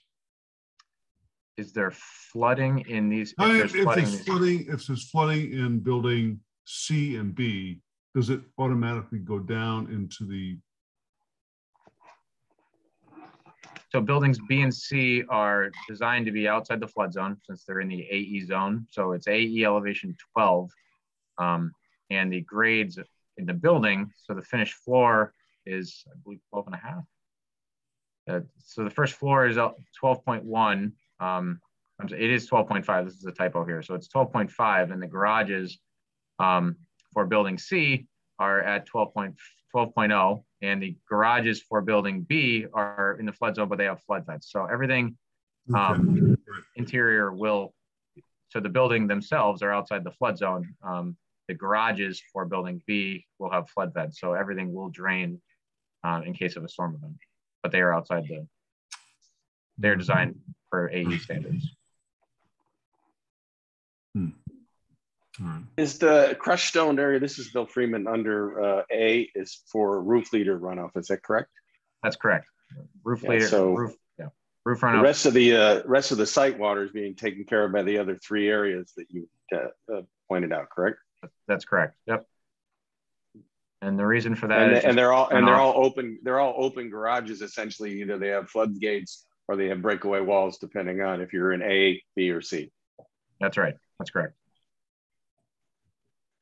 and I, I'm, I don't want to belabor this, but it is, are all these people that are going to be buying these places, are they going to have to buy flood insurance? So that, um, I believe it will be flood insurance for the site and each, each of the buildings because the buildings are each within the flood zone. So I believe they all will be required to have flood insurance. That would probably fall to the homeowners association as their con- condos, correct?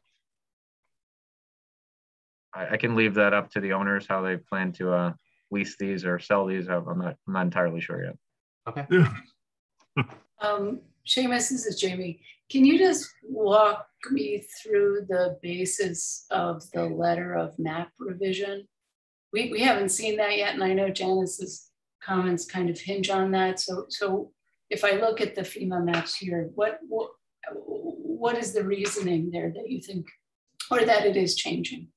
Um, so Rob Sonicson from Waldo and Associates, I actually think he might be on the line. He could, um, if he's on the line, he can answer this. But he he worked with Janice to revise or to, to run the model to, to see what the flood zone would be and to see how much of the site, based on existing conditions, um, would be outside the LIMWA.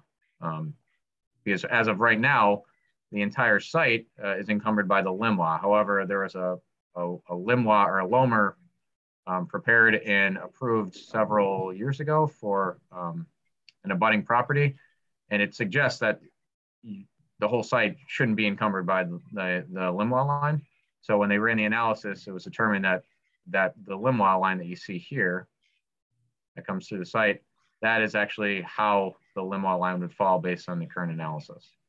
So by doing it, it helps obviously remove the LIMWA from a portion of the site and helps us for construction purposes. But it wasn't, you know, we, we ran the analysis based on um, pre-existing conditions of the site. And uh, that's what we that's what, that's how it came out. Thanks. And, and Jamie, if I could add a little to that. So uh, LOMR is a practice that is um, provided by FEMAR. FEMA, um, knowing that they're an- analyzing so much area of land that they don't have the accuracy that can be drawn from surveying materials right on the site. And so it's a process for something like this where you see grades that wouldn't be caught on an aerial survey um, can be refined on this and presented through an analysis with engineering. And that's, that's why they have that process available. Thanks, Russ. Um, and just that, that previous question of mine, what is the elevation of Pages Lane? What is the existing sort of elevation on which you're building buildings B and C? Can you help us understand the amount of Sure. fill that you're bringing in outside of the Limwa line? Sure, let's, uh, let me open up the existing conditions plan. It might be a little bit easier to see. So Whitfield is actually, it's super elevated from south to north. so these contours that you see here, this is a contour 12 in Whitfield. This here is a 13. There's a little isolated 13. But then as you come into the property, these contours actually drop down. So the existing grades are somewhere in the 10, 11 range across the site um, existing. So if you see this contour down here, there's a 10.4 spot grade. There's a 10 contour here. Um, so these, these contours on the site, this is the 11, 10. And as you get further to the southeast corner, the grades start to drop where the um, where you're still in the limwa. So this here is the limwa line. Um, so the grades on the southeast side uh, are lower than the northern side. Um, so as I said, 13 is the high point of Whitfield. I believe it's about 11 in pages. Yeah, 11.8 is the spot grade in the center. Um, and as you look at the proposed grades, which I'll get to on the next page, um, we're proposing and uh, from working from the building out with a 12.5, where we have some shallow grades here. There's a, there's a 12 high point here to a catch basin. This is a 12. Uh, I'm sorry, this is an 11 spot grade in the parking lot. So it's it's still lower than Whitfield. Whitfield is 13. This is 11. Um, and as we get closer to the eastern side of the parking lot in the front, it drops down to 10 and 9. So we can get back down to existing grade at the limwa line. So it, do, it does grade down towards your property from Whitfield Street. It, it's some of Whitfield does grade down. So you see this swale here. Yeah. Yeah. yeah we're, we're proposing a swale to, to, redirect this runoff coming from off the property um, mm. to where it's going now, um, just in, in a more succinct swale rather than it coming across the parking lot. So, uh, uh, so the, the swale would direct the water towards the harbor. Uh, correct. There's there's a very shallow swale along the property lines. You can see if I can zoom in these very faint lines. This here, this here. So so so you would hope it would not go towards the houses down on Lower Whitfield. It would go. Uh, it would it would basically go east towards the sound. It actually, it'll follow right along the property line. This is a seven contour. This is okay. a six contour. Right. And it'll come down here to a low point. I believe it's a five okay. right, right. to the wetland. So it follows pretty much along the edge of the, uh, the, uh, the property line to the edge of the wetland. Hmm. Okay. All right. So the, the low point down there is like five? Um, so yeah, so the coastal jurisdiction line is four, and these darker contours that you can see here, this is elevation four, the coastal jurisdiction line. That's okay. the lowest point right. at the tidal wetlands. But then, so the five contour is just off, just obviously just north, just the upgrading of that four um, right along the edge of the tidal wetlands. All right, so you're just hoping that directional and gravitational forces will bring the water down in that direction. That's correct. Yep. Yeah, yeah. Uh, Seamus, this is Scott Edmund. Uh, I, you might have mentioned, but I just wanted to look at the. Are you proposing a crosswalk to cross Woodfield? Is that what I saw? Uh, yeah, so let me go to that page here. So there is it's shown off the, the site pretty much, but yes, so we're proposing right, a little right, crosswalk right. across Whitfield. Yeah, yeah. And that's so um, um, to provide access. Because right now, right, right now the sidewalk is is on the other side of Whitfield. Um, George, with the safe um, safe streets ordinance have, do they have anything that we would need to flag in terms of proper signage for, for pedestrian crossing? I don't know what kind of requirements they've put in there. Well, there's no, there's no specific ordinance. Um, Janice works closely with the Safe Streets Committee, and. I think she's discussed with the developer and the designers here the characteristics of this side of this sidewalk and walkway. So yeah, it does, it, with safe, it, I, I don't, I haven't like looked at their plan in depth. They, they're not planning to put a sidewalk on this side of Whitfield, are they? I don't believe so, no. Okay. Um, and my second question, I guess, might be better for um, Russ. Uh, do you know if there's any plan for low income for these uh, units to be low income at all? Um, no, I do not think that there is a plan. The site costs and development costs are such that this is is not really a viable site for um, moderate income or or um, affordable housing. Uh, hi, this is Jamie. I just have one more question. Is work being done below the coastal jurisdiction line? No, no, we're not proposing any work. What um, there is one little error on here that we're right at the coastal jurisdiction line with our outlet pipe, and I'm gonna have to relocate that. You'll see. Okay. Um, so Uh, we're not this a- proposing. So this is not a mandatory DEEP referral?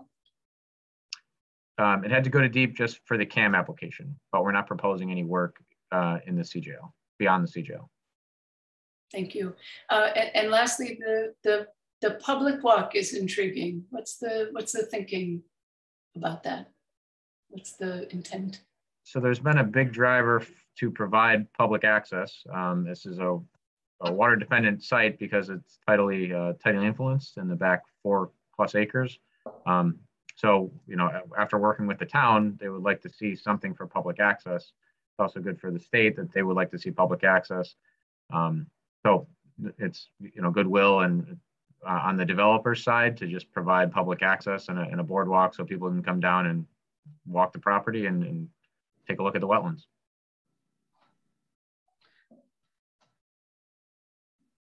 And the Eagles. Eagles. Caught a lot of that when we were doing the restaurant at the yacht club being open to the public pre-COVID. Public access to the water. So um, we met with Kevin and uh, George and, and um, actually explored several scenarios and landed on this being the most viable way to gain access. One, it'll have a concrete sidewalk that runs along Pages Lane that matches the town details and then turns and runs out to this. So it'll be fairly clear by the sidewalk that it's a public access area. Obviously, we'll have signage as well, but it also, I think, is helpful to have it be clearly somewhere that someone can go from the public um, and so, uh, and, and we felt this was a good position for it because other areas of the site actually um, would encroach on the 25 foot setback or might be vulnerable to lowland areas that would have flooding that might damage some of the public access paths. So we decided that this was the best way to go about it um, uh, with Kevin. I think he's in support of this. Yeah, I think it's great. Yeah. Um, Seamus, you ready to hand it to Russ? Love to. I'll stop sharing now and Russ can share.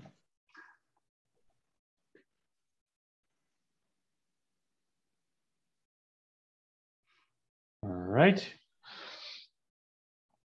All right, so you should be able to see uh, the architectural site plan. Is that on your screens? Yep. Yep. Fantastic. So um, Seamus sort of walked you through the general site characteristics of this, and um, and I just wanted to give a little bit more information actually on some zoning setbacks, um, just because they were raised by Janice. So um, there is a 12 foot um, parcel that runs as part of Pages Lane along this edge that was transferred with the main parcel and is owned by our clients. Um, the previous application for 15 units that was approved measured the side setback from uh, and included that 12 foot parcel. So we've continued that and measured our 30 foot setback off of that side. And I spoke to George earlier today and he's in agreement with that determination. But I will say if there's concern about the way that we've interpreted that, um, we can merge the properties as they it's an undevelopable parcel and it and it could be merged if we needed to. Um, she also raised a concern about the um, setback on the opposite side by a raised platform that we have in the FEMA zone for our um, mechanicals. Um, and again, I spoke to George today about this. This platform is a separate structure and under the Town Center South and our special permit, there are criteria for different setback requirements for different heights of buildings. And so if you're over 35 feet, like the main buildings are, you have to have a 30 foot setback. If you're under 35 feet, you have a 20 foot setback. And so even though we're three feet over the 30 foot setback on this side, um, we're compliant under the Town Center South um, special permit if you approve it. Um, the other thing that's not shown on the um, site plan that Seamus just presented is we, we do have sort of a little bit more articulation to the path, and then we are proposing a center path, um, sort of a very low improvement kind of path that runs around this side and out and, and ends at the easement line on this side.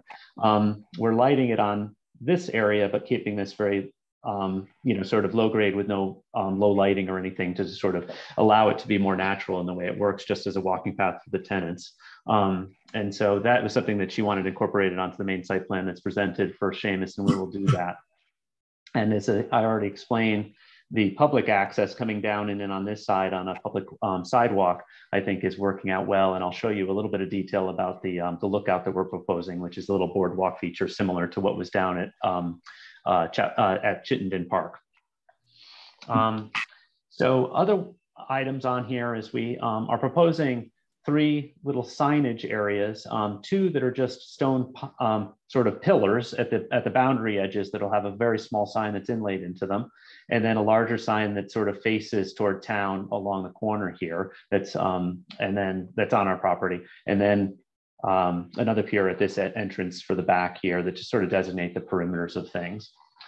So that's the general site plan. If there's no other questions, um, I'll move through the plans.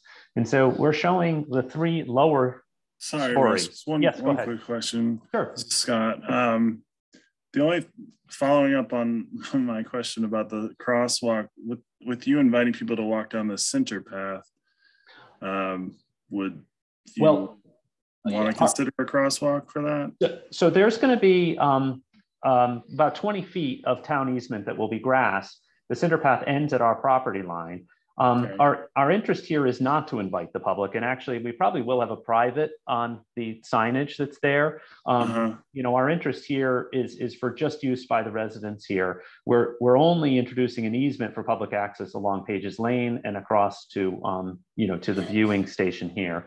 And so that was raised in Janice's letter, and we can discuss it. Um, but there's a lot of places, I mean, where where paths for for private communities will come out onto an easement and, and sort of allow for someone to cross the road independently. And it just felt like this might be a path that people would take. Um, she is not comfortable with a second crosswalk here. So it's, it's either okay. one or, or another. And we still felt that we didn't want to give up that path and just dead end on, you know, the ability to sort of walk through the site. So um, we can discuss concerns that were raised associated with, with sending people here, but we're not looking to attract people into the site on this side from, from the public. Um, it would only be residents that would have use of that.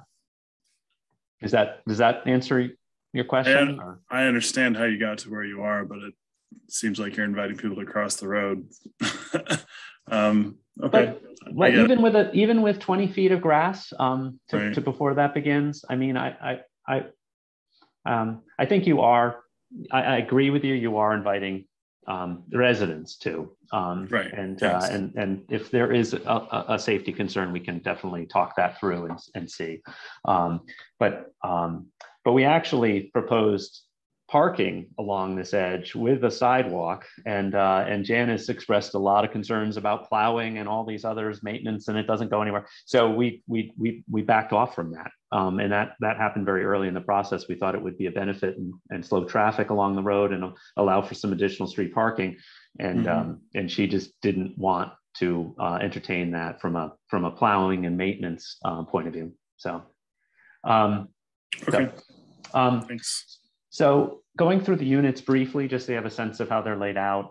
Um, there's there's um, the first three plans in the sheet are showing the three different units A, B, and C because they're slightly different in their layout due to the elevations. And so unit A, you come in at the lower grade and you come up a staircase to an area of finished space that's above the FEMA line. And so in the LIMWA, it's one foot higher than the two adjacent units. So the finished floor is at 14 feet. And um, there is elevator access from the backside. And because we can't raise the grades in this area on these on the uh, building A, we have a front stoop that comes up um, about six feet to a platform and comes into the foyer. There's a mud room, and then you can go up the stairs to the main levels. Um, the middle unit has a much smaller change in grade, going from um, nine foot six to um, to the 12 foot six that comes up through a stoop and in. And there's also elevator access. But the front, because we can grade this area because it's out of LIMWA, we're able to come in flush to grade on the front and have accessible access to this unit. Um, um, so these four units as well as building A. And again, you go up the stairs to the main living space. And the last unit, um, which is the closest to Pages Lane, all four of these units um, are, are sort of flush transition. They'll have a pitch for drainage out of the garage, but you have a flush transition into the uh, building, both from the garage and from the front. So, um, so all the units are, are accessible for guests. They all have elevator access. buildings B and C, the middle building and the um, one on Pages Lane will have accessible front entries and garage access. And building A has accessibility through the garage through the elevator access. Um, on the next level, um, we have a large open living plan that has a kitchen, dining, and living that flows out onto a terrace that's over the garage. And there's a small study um, and, a, and, a, powder room and, and, a pantry up in the front area of that. The next level up has two ensuite bathrooms uh, and suites uh, bedrooms. So the master is on the view side looking over the marsh with a large bathroom and a large walk-in closet, laundry, and a guest bedroom with an ensuite bathroom and shower. And the top level, which is habitable attic in the way we're laying these out with the townhouses, um, has the option of either a bedroom on the marsh side with um, a, a, bath that's in the bonus area. And we have another layout that has the bedroom on the town side, on, this, on the Whitfield side, and the bonus room with a small balcony that looks out over the marsh on that uppermost level. Um, this is just showing how the lower stories integrate and how we're FEMA compliant. So this shows where our flood vents are and, uh, and, and where our elevations are and how our area calculations are for our FEMA flood vents. And the elevations, um, we've gone back and forth a couple times with design review and I think enhanced the plans. Um, so they're very similar. There's um, um several iterations of the way we're handling the front porches. Some of the porches have um, at grade space that has room for benches and sitting. Um, and some have a balcony off of the main floor living uh, with a smaller porch entry to give, give it a little bit of diversity. We also worked with them to sort of um, step the units forward and back to give it a little bit more context and wrap them back around the corner of pages to open this side up a little bit.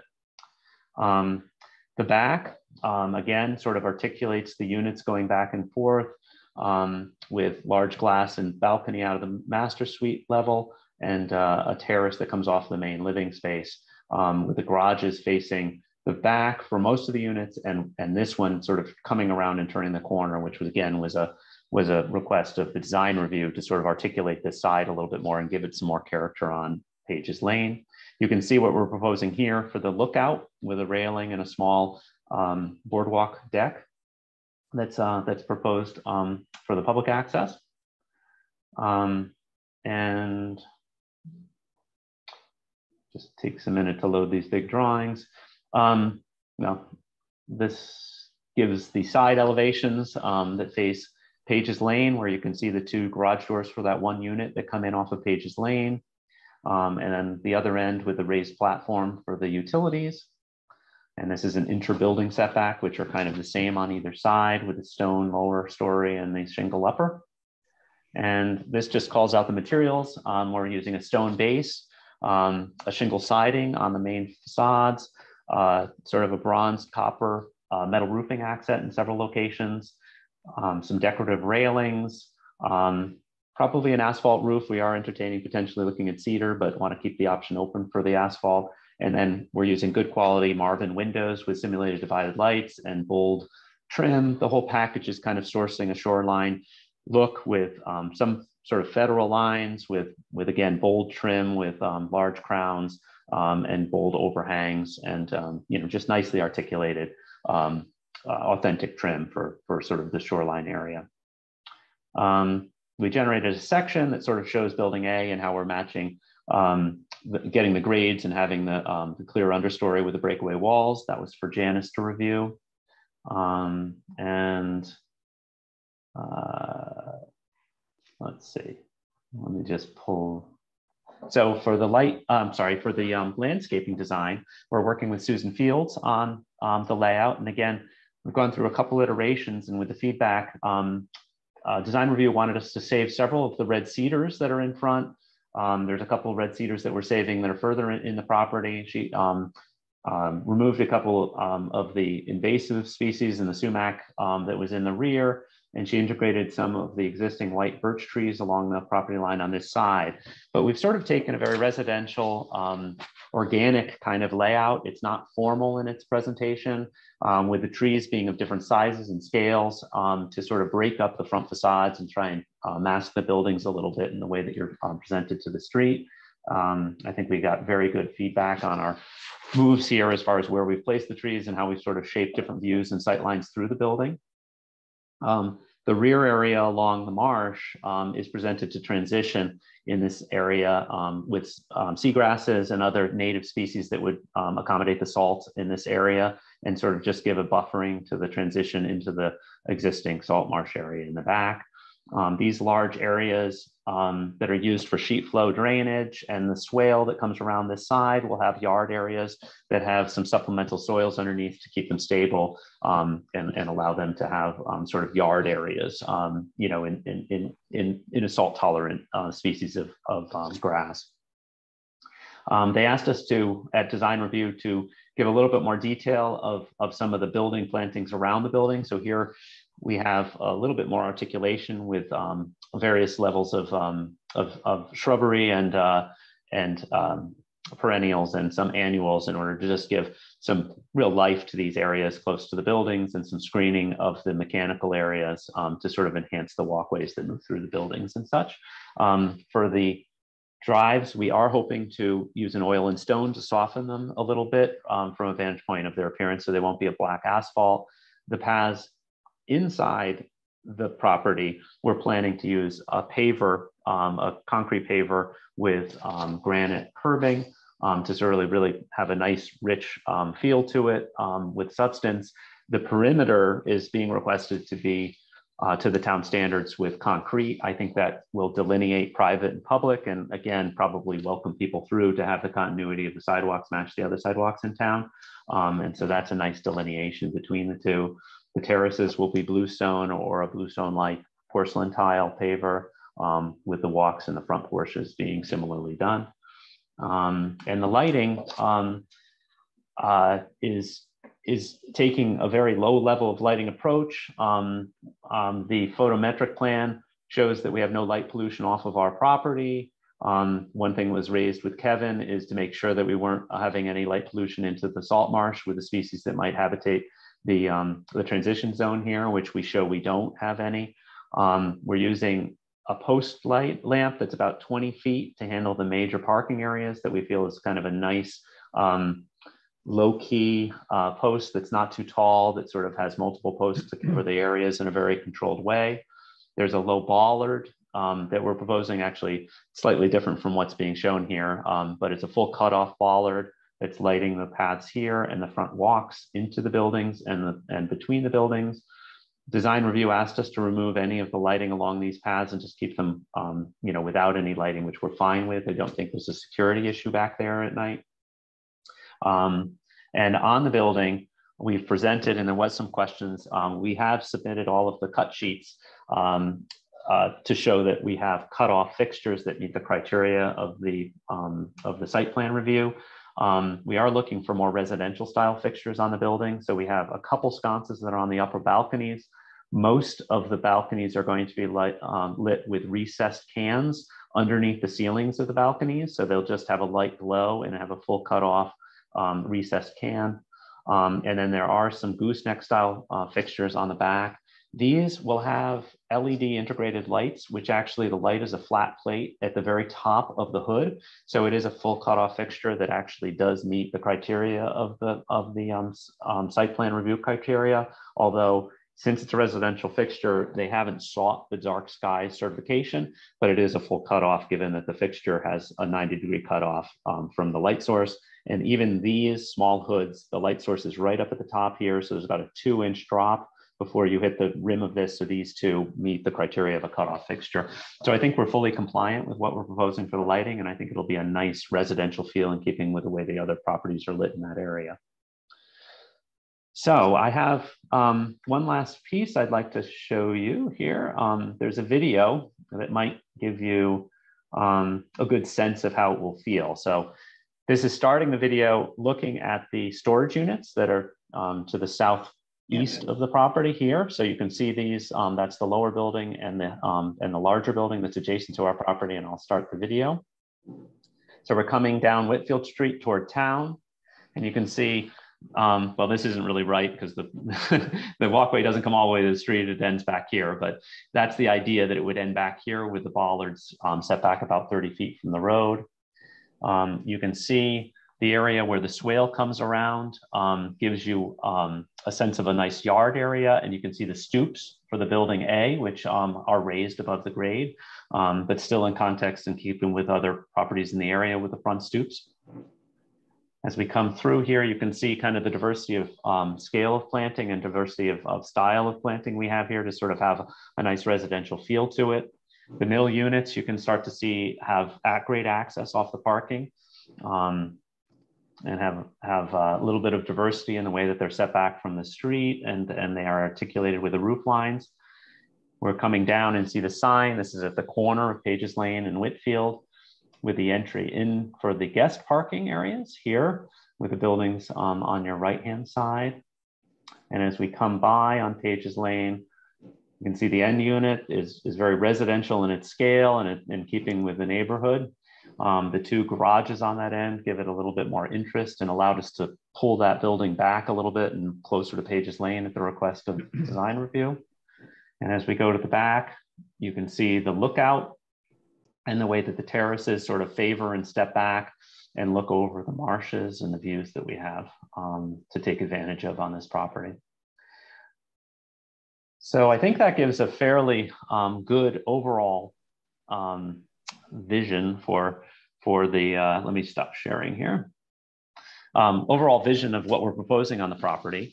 Um, and as I said, um, we've met with design review twice and gotten very good feedback from them and I think incorporated all that they've requested.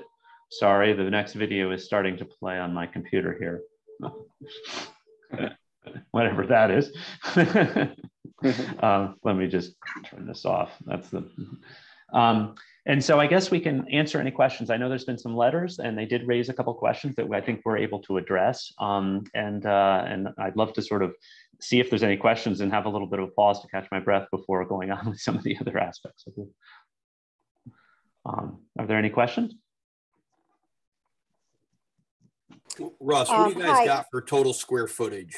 Um, so the units each are 3,800 square, well, they're just shy of 3,800 square feet, three bedroom units, and there's 12 of them. Uh, Russ, it's Jamie. I, am not totally sold on the public access yet. Um, okay. Was there was there a proposal for a bench? Is there a um, I mean, I love the video. I mean, there's there's so much there's so much detail and beautiful attention to detail, and that part just falls flat for me. Um, okay. Um, I, I mean, I, am sure we would be able to put a bench or two on there. We could, um, you know, put one of those telescope uh, quarter telescope things on there. I mean, I, um, you know, it it it's um you know, it's an eight by 14 viewing platform and it's drawing people into the site to have the long view down to the water because you can actually see the sound from this location. And then obviously the eagle and, and having a controlled location that people can come and view the eagle, which is a popular, you know, a popular event. Um, so, um, you know, that was the goals that were set. And as I said, um, we did explore other options and really the feedback we received was um, having any greater depth of walking trail into the site or, or having it closer to the marsh, you know, is, is, is wasn't received well. Um, and so this was what was landed on.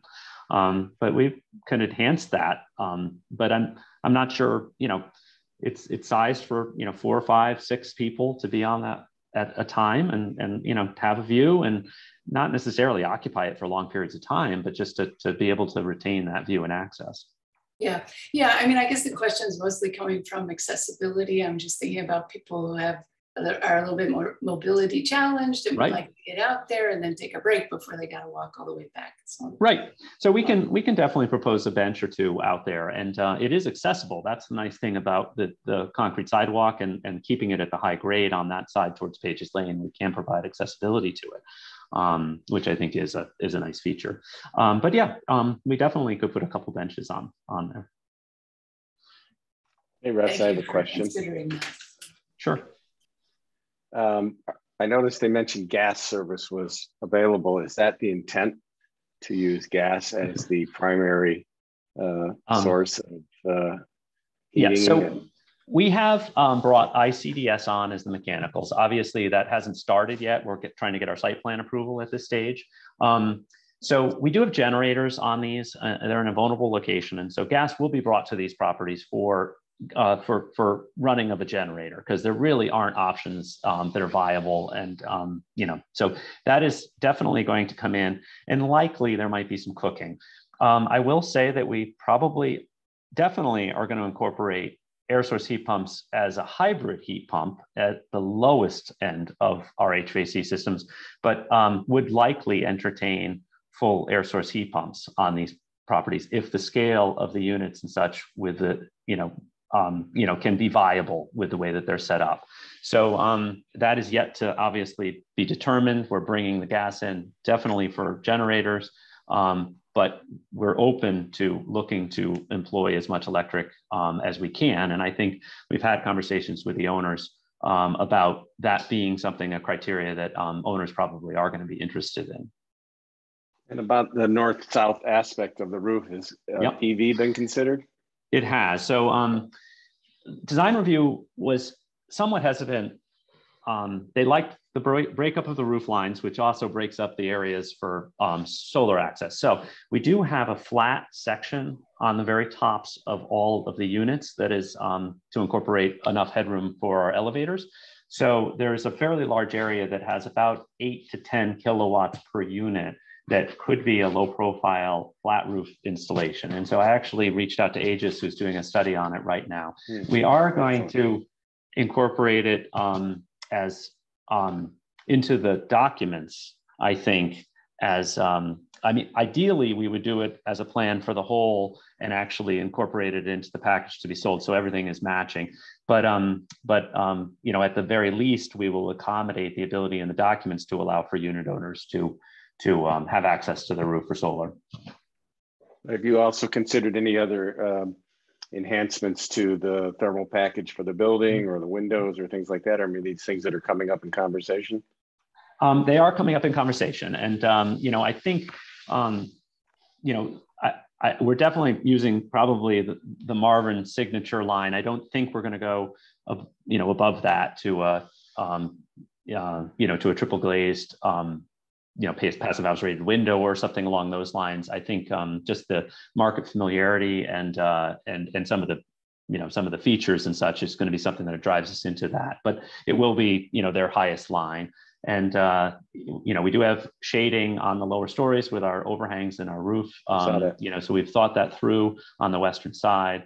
We are doing all two by six construction will do, um, you know, probably a, a, flash and batt style um, that will be well beyond code, probably 30, 40% um, on REScheck beyond code, I would guess with the way that these are laid out, especially with the shared walls.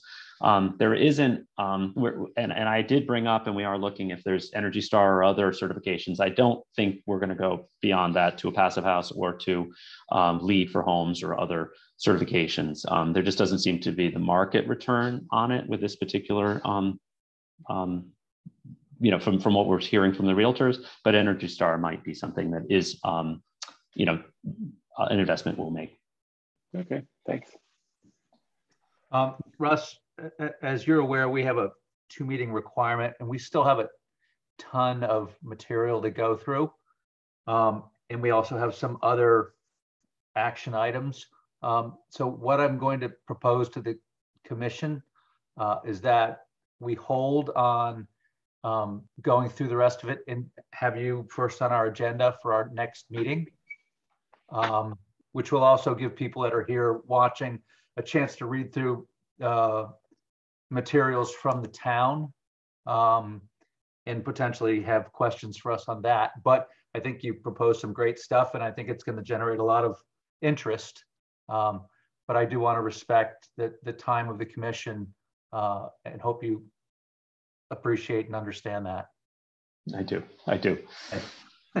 um, that being said, is the commission okay uh, with someone making a motion to continue this to our January 5th meeting? So moved. Second. Anyone? Bueller? I think you got a second from Bill. Okay, thanks. I'll call the vote. Sean Cosgrove? Sean, you're muted, sorry. How about a thumbs up? You give me a thumbs up, I'll count it as a yes. Aye. Thank you. Frank DeAndrea, Yes, sir. Jamie Stein, Yes. Richard Wallace, Yes. Scott Edmund, Yes. Bill Freeman. Yes. I'll also vote to continue. Thanks, Russ. I, I, I look forward to reading all the materials and chatting with you uh, and, and getting your take on them all and any responses to those materials as well at our next meeting. Okay. All right. Thank you.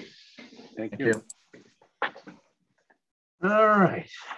Uh, deliberation of public hearings.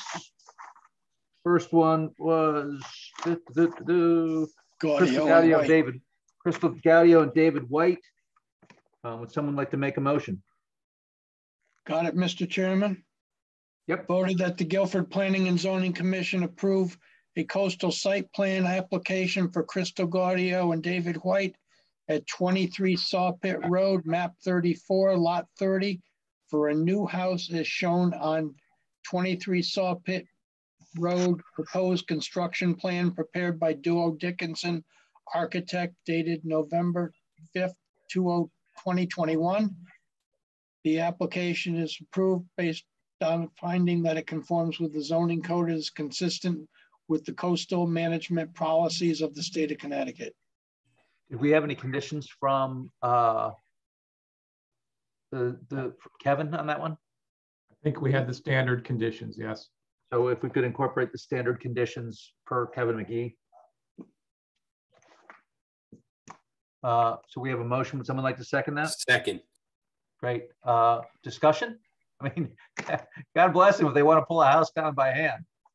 Um, But, you know, I, I was, I was dumb enough to do that myself once, so. um, We were all young once. I know, once, once. Um, Any other comments or questions?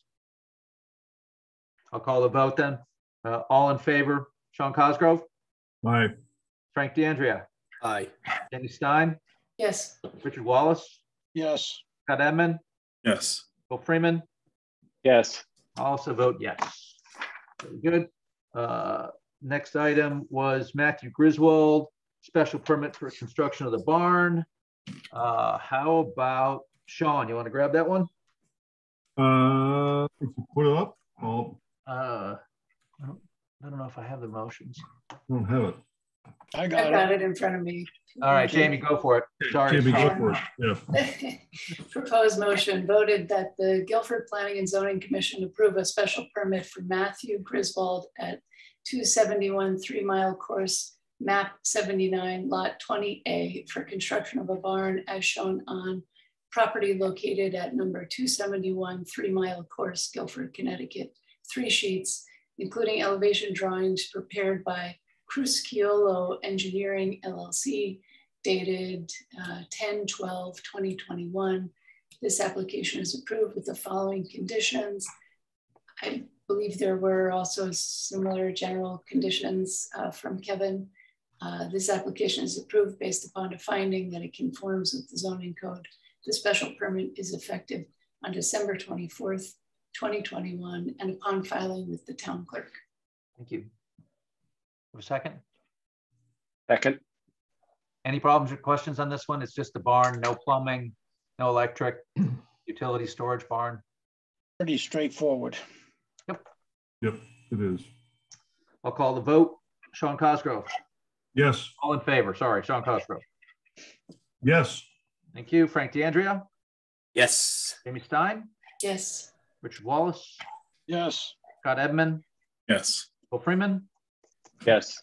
I'll also vote yes for the barn. Next item is uh, FJ Corsini 2 LLC, 591 Sawmill Road, map 85, lot 63-1, zone R5, four lot re-subdivision. Would someone like to make a motion on this? I have it. Why don't you go ahead and read it then? Vote. Voted that the Guilford Planning and Zoning Commission approve a re-subdivision application for FJ Corsini Second LLC at five ninety-one Sawmill Road, map eighty-five, lot sixty-three, one, 63-1 for a four-lot subdivision as shown on site development plan project of FJ Corsini II LLC dated November 21st, 2021, revised to November 15th, 2021, and redivision subdivision plan of FJ Corsini II LLC dated November 11th, 2021, prepared by Waldo and Associates LLC.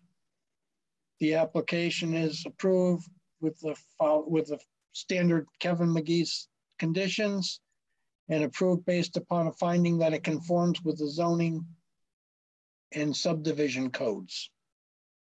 I'd like to mention that we consider not charging the fee in lieu, given the history of the parcel.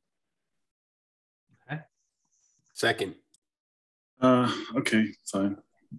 I mean, technically it's a new application, so like technically it needs to have some Isn't it- accommodation for open space. Yeah, I don't agree with that. I feel like the parcel in general has been a loss to the, to the tax base with all that confusion. That's not what Mr. Corsini is doing with. Mr. Corsini bought a piece of property and paid for it with the uh, understanding through the land records that it was an approved project I and mean, then and he got caught we- up. As we discussed, tech, you know, technically it is an approved subdivision. We're just Yeah. Right.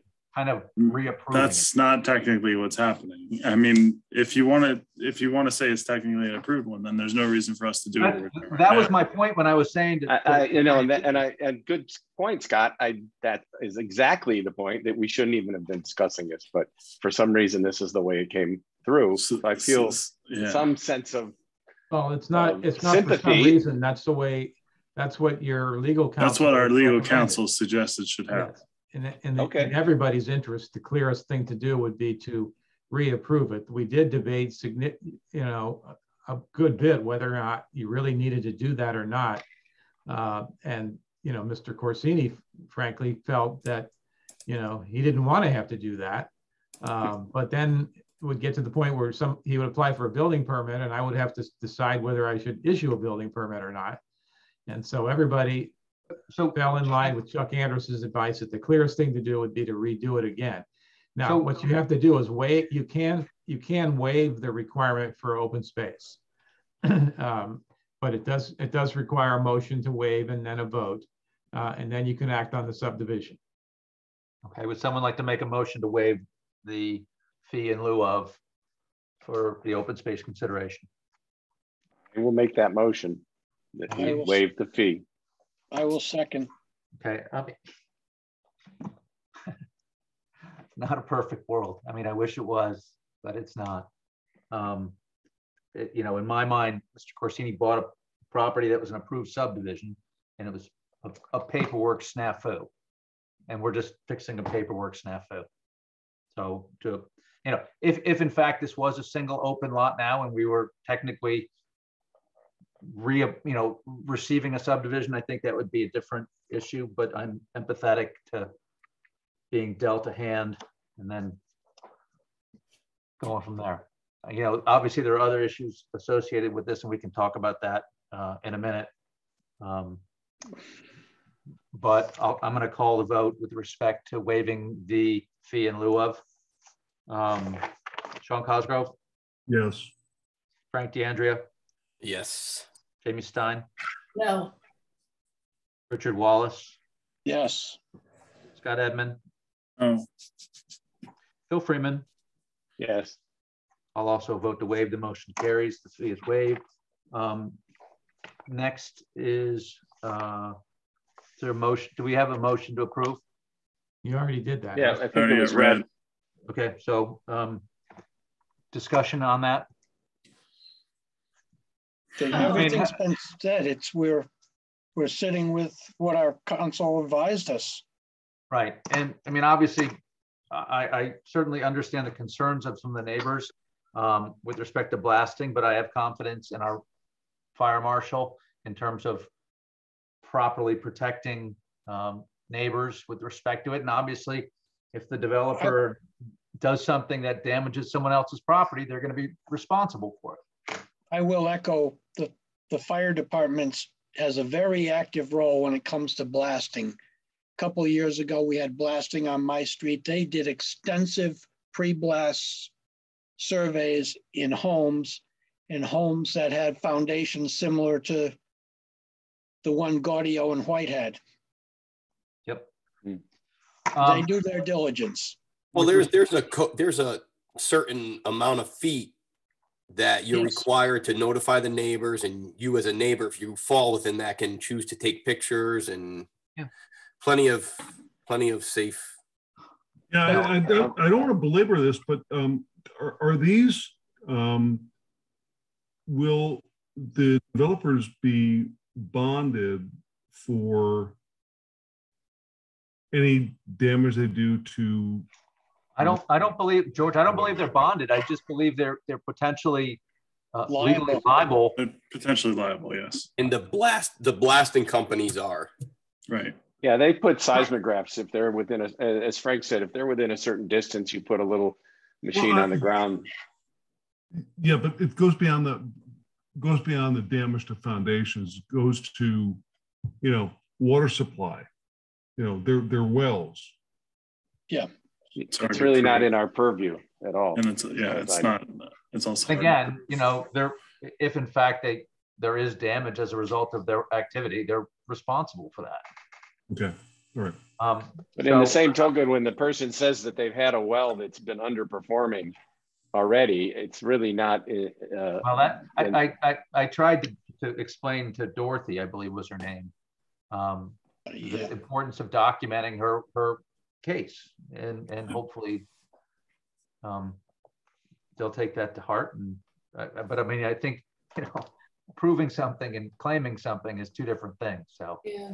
Um, I, this is Jamie. I, I had less concern about blasting as I did for the just kind of lack of detail of the application. I mean, I had trouble making out where the proposed septic systems were. I couldn't, I really had trouble making out where the proposed wells were. I had Well- difficulty distinguishing the soil types. Uh, I had difficulty distinguishing the grade of the slope towards Thirsty Lake. I mean, it- there, you know, it, I guess the question is, you know, George, is there another point in the sort of procedure of this subdivision in which more details about There these is. elements will be There is developed? definitely, that's, that's a good point, and it, it really gets to the issue of what is a subdivision. Right. Um, You're not approving, you're approving lots based on their compliance with the zoning and subdivision codes. You're not, you're not approving specific plans for houses or septic systems. What they're doing with the subdivision site development plan is demonstrating that they can build a house and a septic system in order to then justify your approval of the subdivision lot. They don't have to build the house and septic system in the manner in which it's shown on the subdivision plan. They can come back later with a different plan, um, you know, depending on who buys the lot and what kind of house they want to build and what, et cetera. What they've demonstrated is that they can build a code complying septic system and a house to meet the, meet the standards. And there is definitely a next step. It doesn't require approval of the Planning and Zoning Commission, however.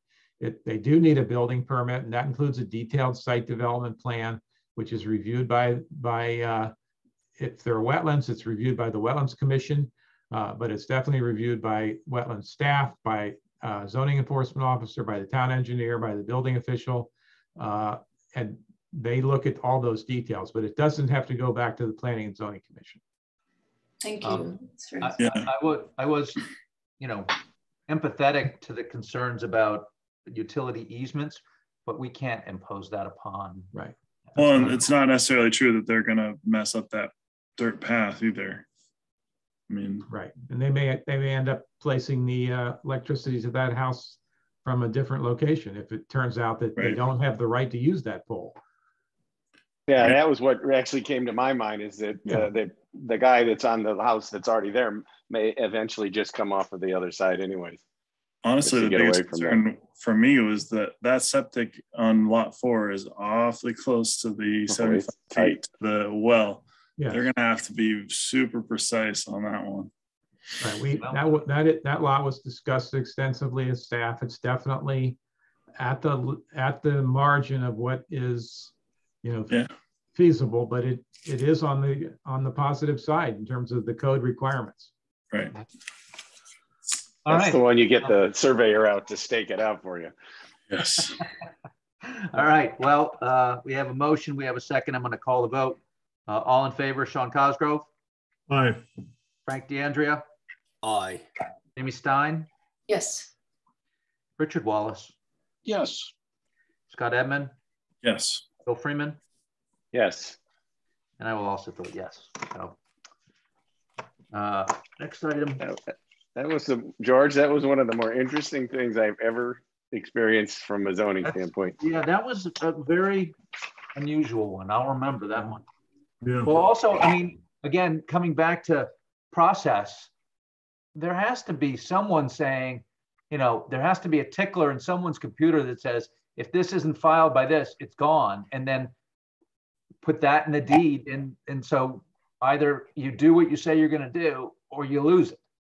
Well, shouldn't That- like That's shouldn't the the burden of the 90 days. The night that, that burden is on the property owner. Right. They Yeah, don't, that- fi- they don't file the map in 90 days. It's isn't uh, it more on isn't more on the assessor's office? Well, if, uh, if they don't this file the map, in, if they don't file a map in 90 days and expires, then why did we just see this application? Well, because the, the, uh, the unique nature of the action of the commission in ninety-nine to waive the, I mean, to, to approve a one-lot plan. Uh, that, that was a de- a debate that we actually had. Well, that one-lot plan was not filed and therefore that Yes. So, so, it goes, expired. so it goes away. Went back, went back to four lots, yes. That was an so- argument that was made. Well, whatever. We, we, it's, Yeah. it's, We solved it. You solved the problem for everybody. but in hindsight, but in hindsight, you know, Yes. I know the onus is on the property holder. well, the mis- yeah, but also But the mistake should- is on the assessor, right? Like for not checking. That's another whole, Good. Well, yeah. you know. All right. Um, next one, Christopher Healy, Boston Post Road, map 78, lot 13, zone TS2 R8 petition for zone boundary change. Who wants to read the motion? I apologize, we did not prepare a motion in advance on this. But it's, you know, it's, it's an up or down vote based on compliance with the uh, plan of conservation and development. Okay, um, would someone, oh, I don't think George can, I'll make a motion. Um, make a motion to approve a zone boundary change for Boston Post Road map seventy-eight lot thirteen, zone TS two R eight, petition for zone change from R, Eight. R eight to MCU. MUC two, MUC two, sorry, I was close. Um, alphabet Second. Soup. thank you. Um, discussion? No, I Any- think we I mean- nailed it in deliberating. I mean, I think the obvious concerns is everyone wants to make sure that we um, protect the, you know, the Wolf Swamp and Hoadley Creek to the best of our abilities. But yeah, I think we're gonna have, inland wetlands is gonna have a lot to say about it. Um, I, I, I respect Kevin's desire to, to, you know, do his very best to put forth a strong advocacy for hard protections, but I thought that was a lot. That was my take.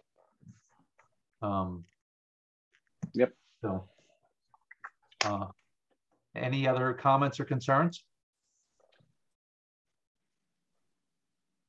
I'll call the vote then. Sean Cosgrove, Abstain. okay. Frank DeAndrea, Yes, sir. Jamie Stein, Yes. Richard Wallace, Yes. Scott Edmond, Yes. Bill Freeman. Yes. I'll also vote yes, the motion carries. Uh, and obviously, um, we make a motion to continue Eagle View. Yes, you did. All right, We did. Yep. sorry, it's eleven twenty-three. Uh, pending applications, Hubbard Road, uh, map seventy-nine, uh, I, zone I two, RE subdivision, two lots. It's been tabled to one nineteen twenty-two, Hubbard Road LLC. Map seventy-nine has been tabled to one nineteen twenty-two. Um, do we have to officially table those, George? No, you've already done, you've already accepted them. Okay. Right, Uh, applications, Bigliotti Construction, receive and set public hearing for one nineteen twenty-two, Sunset Creek Development, uh, one fifty-eight State, map forty-six, lot twenty-seven, zone R one, special permit subdivision for two lot subdivision, receive and set public hearing for one nineteen twenty-two, uh, Ron De Gennaro, Development, Construction, State Street fifty-four, map fifty-four, lot five, zone MUOS, special permit for twenty-five residential units, receive and set public hearing for one nineteen. And Paul De Silva, uh, Jardine and Karen um, Bernish, sorry about that. One sixty Sand Hill Road, map sixty-seven, lot two oh five, zone R six, special permit coastal site plan for accessory apartment, received for one nineteen. Um, all in favor? Aye. Aye. Okay, Uh, other business discussed, uh, virtual versus in-person meeting for the new year. Um, frankly, I'm Omicron variant, I'm Omicron hesitant. Um, Totally. And, and I, I am, I, I'm, I am too, Phil. I, I just think that, you know, my, my son and daughter-in-law just tested, tested positive in Chicago. There were plenty to drive out here next week. And they can't, I mean, I, I I hate that we're still in that spot, but I, I think what we should continue uh, and with our virtual meetings. Um, I do too. For the When does the executive, when does the executive order run out? I, I think we can go through March at least, can't we, George? Yeah, April, that sounds, that sounds right. end Okay, of well, April. I mean, uh, Why don't April, we- we can. why don't Lisa we says revisit- April. Yeah. Why Why don't we we- revisit it at the end of January? Why, well, why don't we revisit it? at the end of as well, yeah. I mean, Why don't we visit at the end of April? why don't we do it when we, we get our next booster? Let me Hold ask on a this. second. All right. Um, George, Oh, one. I guess one, George, have you guys received, or, or Lisa, have you guys received any requests from the public for this to go back to being in person? No, No. no. ZBA is going till April virtual. Yeah, there's Do no we reason. have I mean, to change. I, I, I hate to be brutal. At, at one point, we had uh, 50 people at the meeting. Is that Yeah. fair? Do you Yeah, know all the easily. engineers, all the engineers and the attorneys love virtual meetings? I'm sure they do. Well, that's, you know, It saves Well, I'd us like lot still charge the same all those amount. People driving around. sit in their living room and bill them at the regular rate. So uh, Yeah, they love them. They, they- they rave about them. They we don't have have- to bring, they don't have to bring tripods and, you know, meeting room. I All mean, right. they zoom in, they zoom out. And the Yeah, sound system's So better good. than it is in the community center. Before we, before we get punchy, would someone like to make a motion to approve the minutes? Wait, wait, I have a question. I'm sorry, excuse me. Do we have the ability to offer a hybrid meeting? We do. Okay.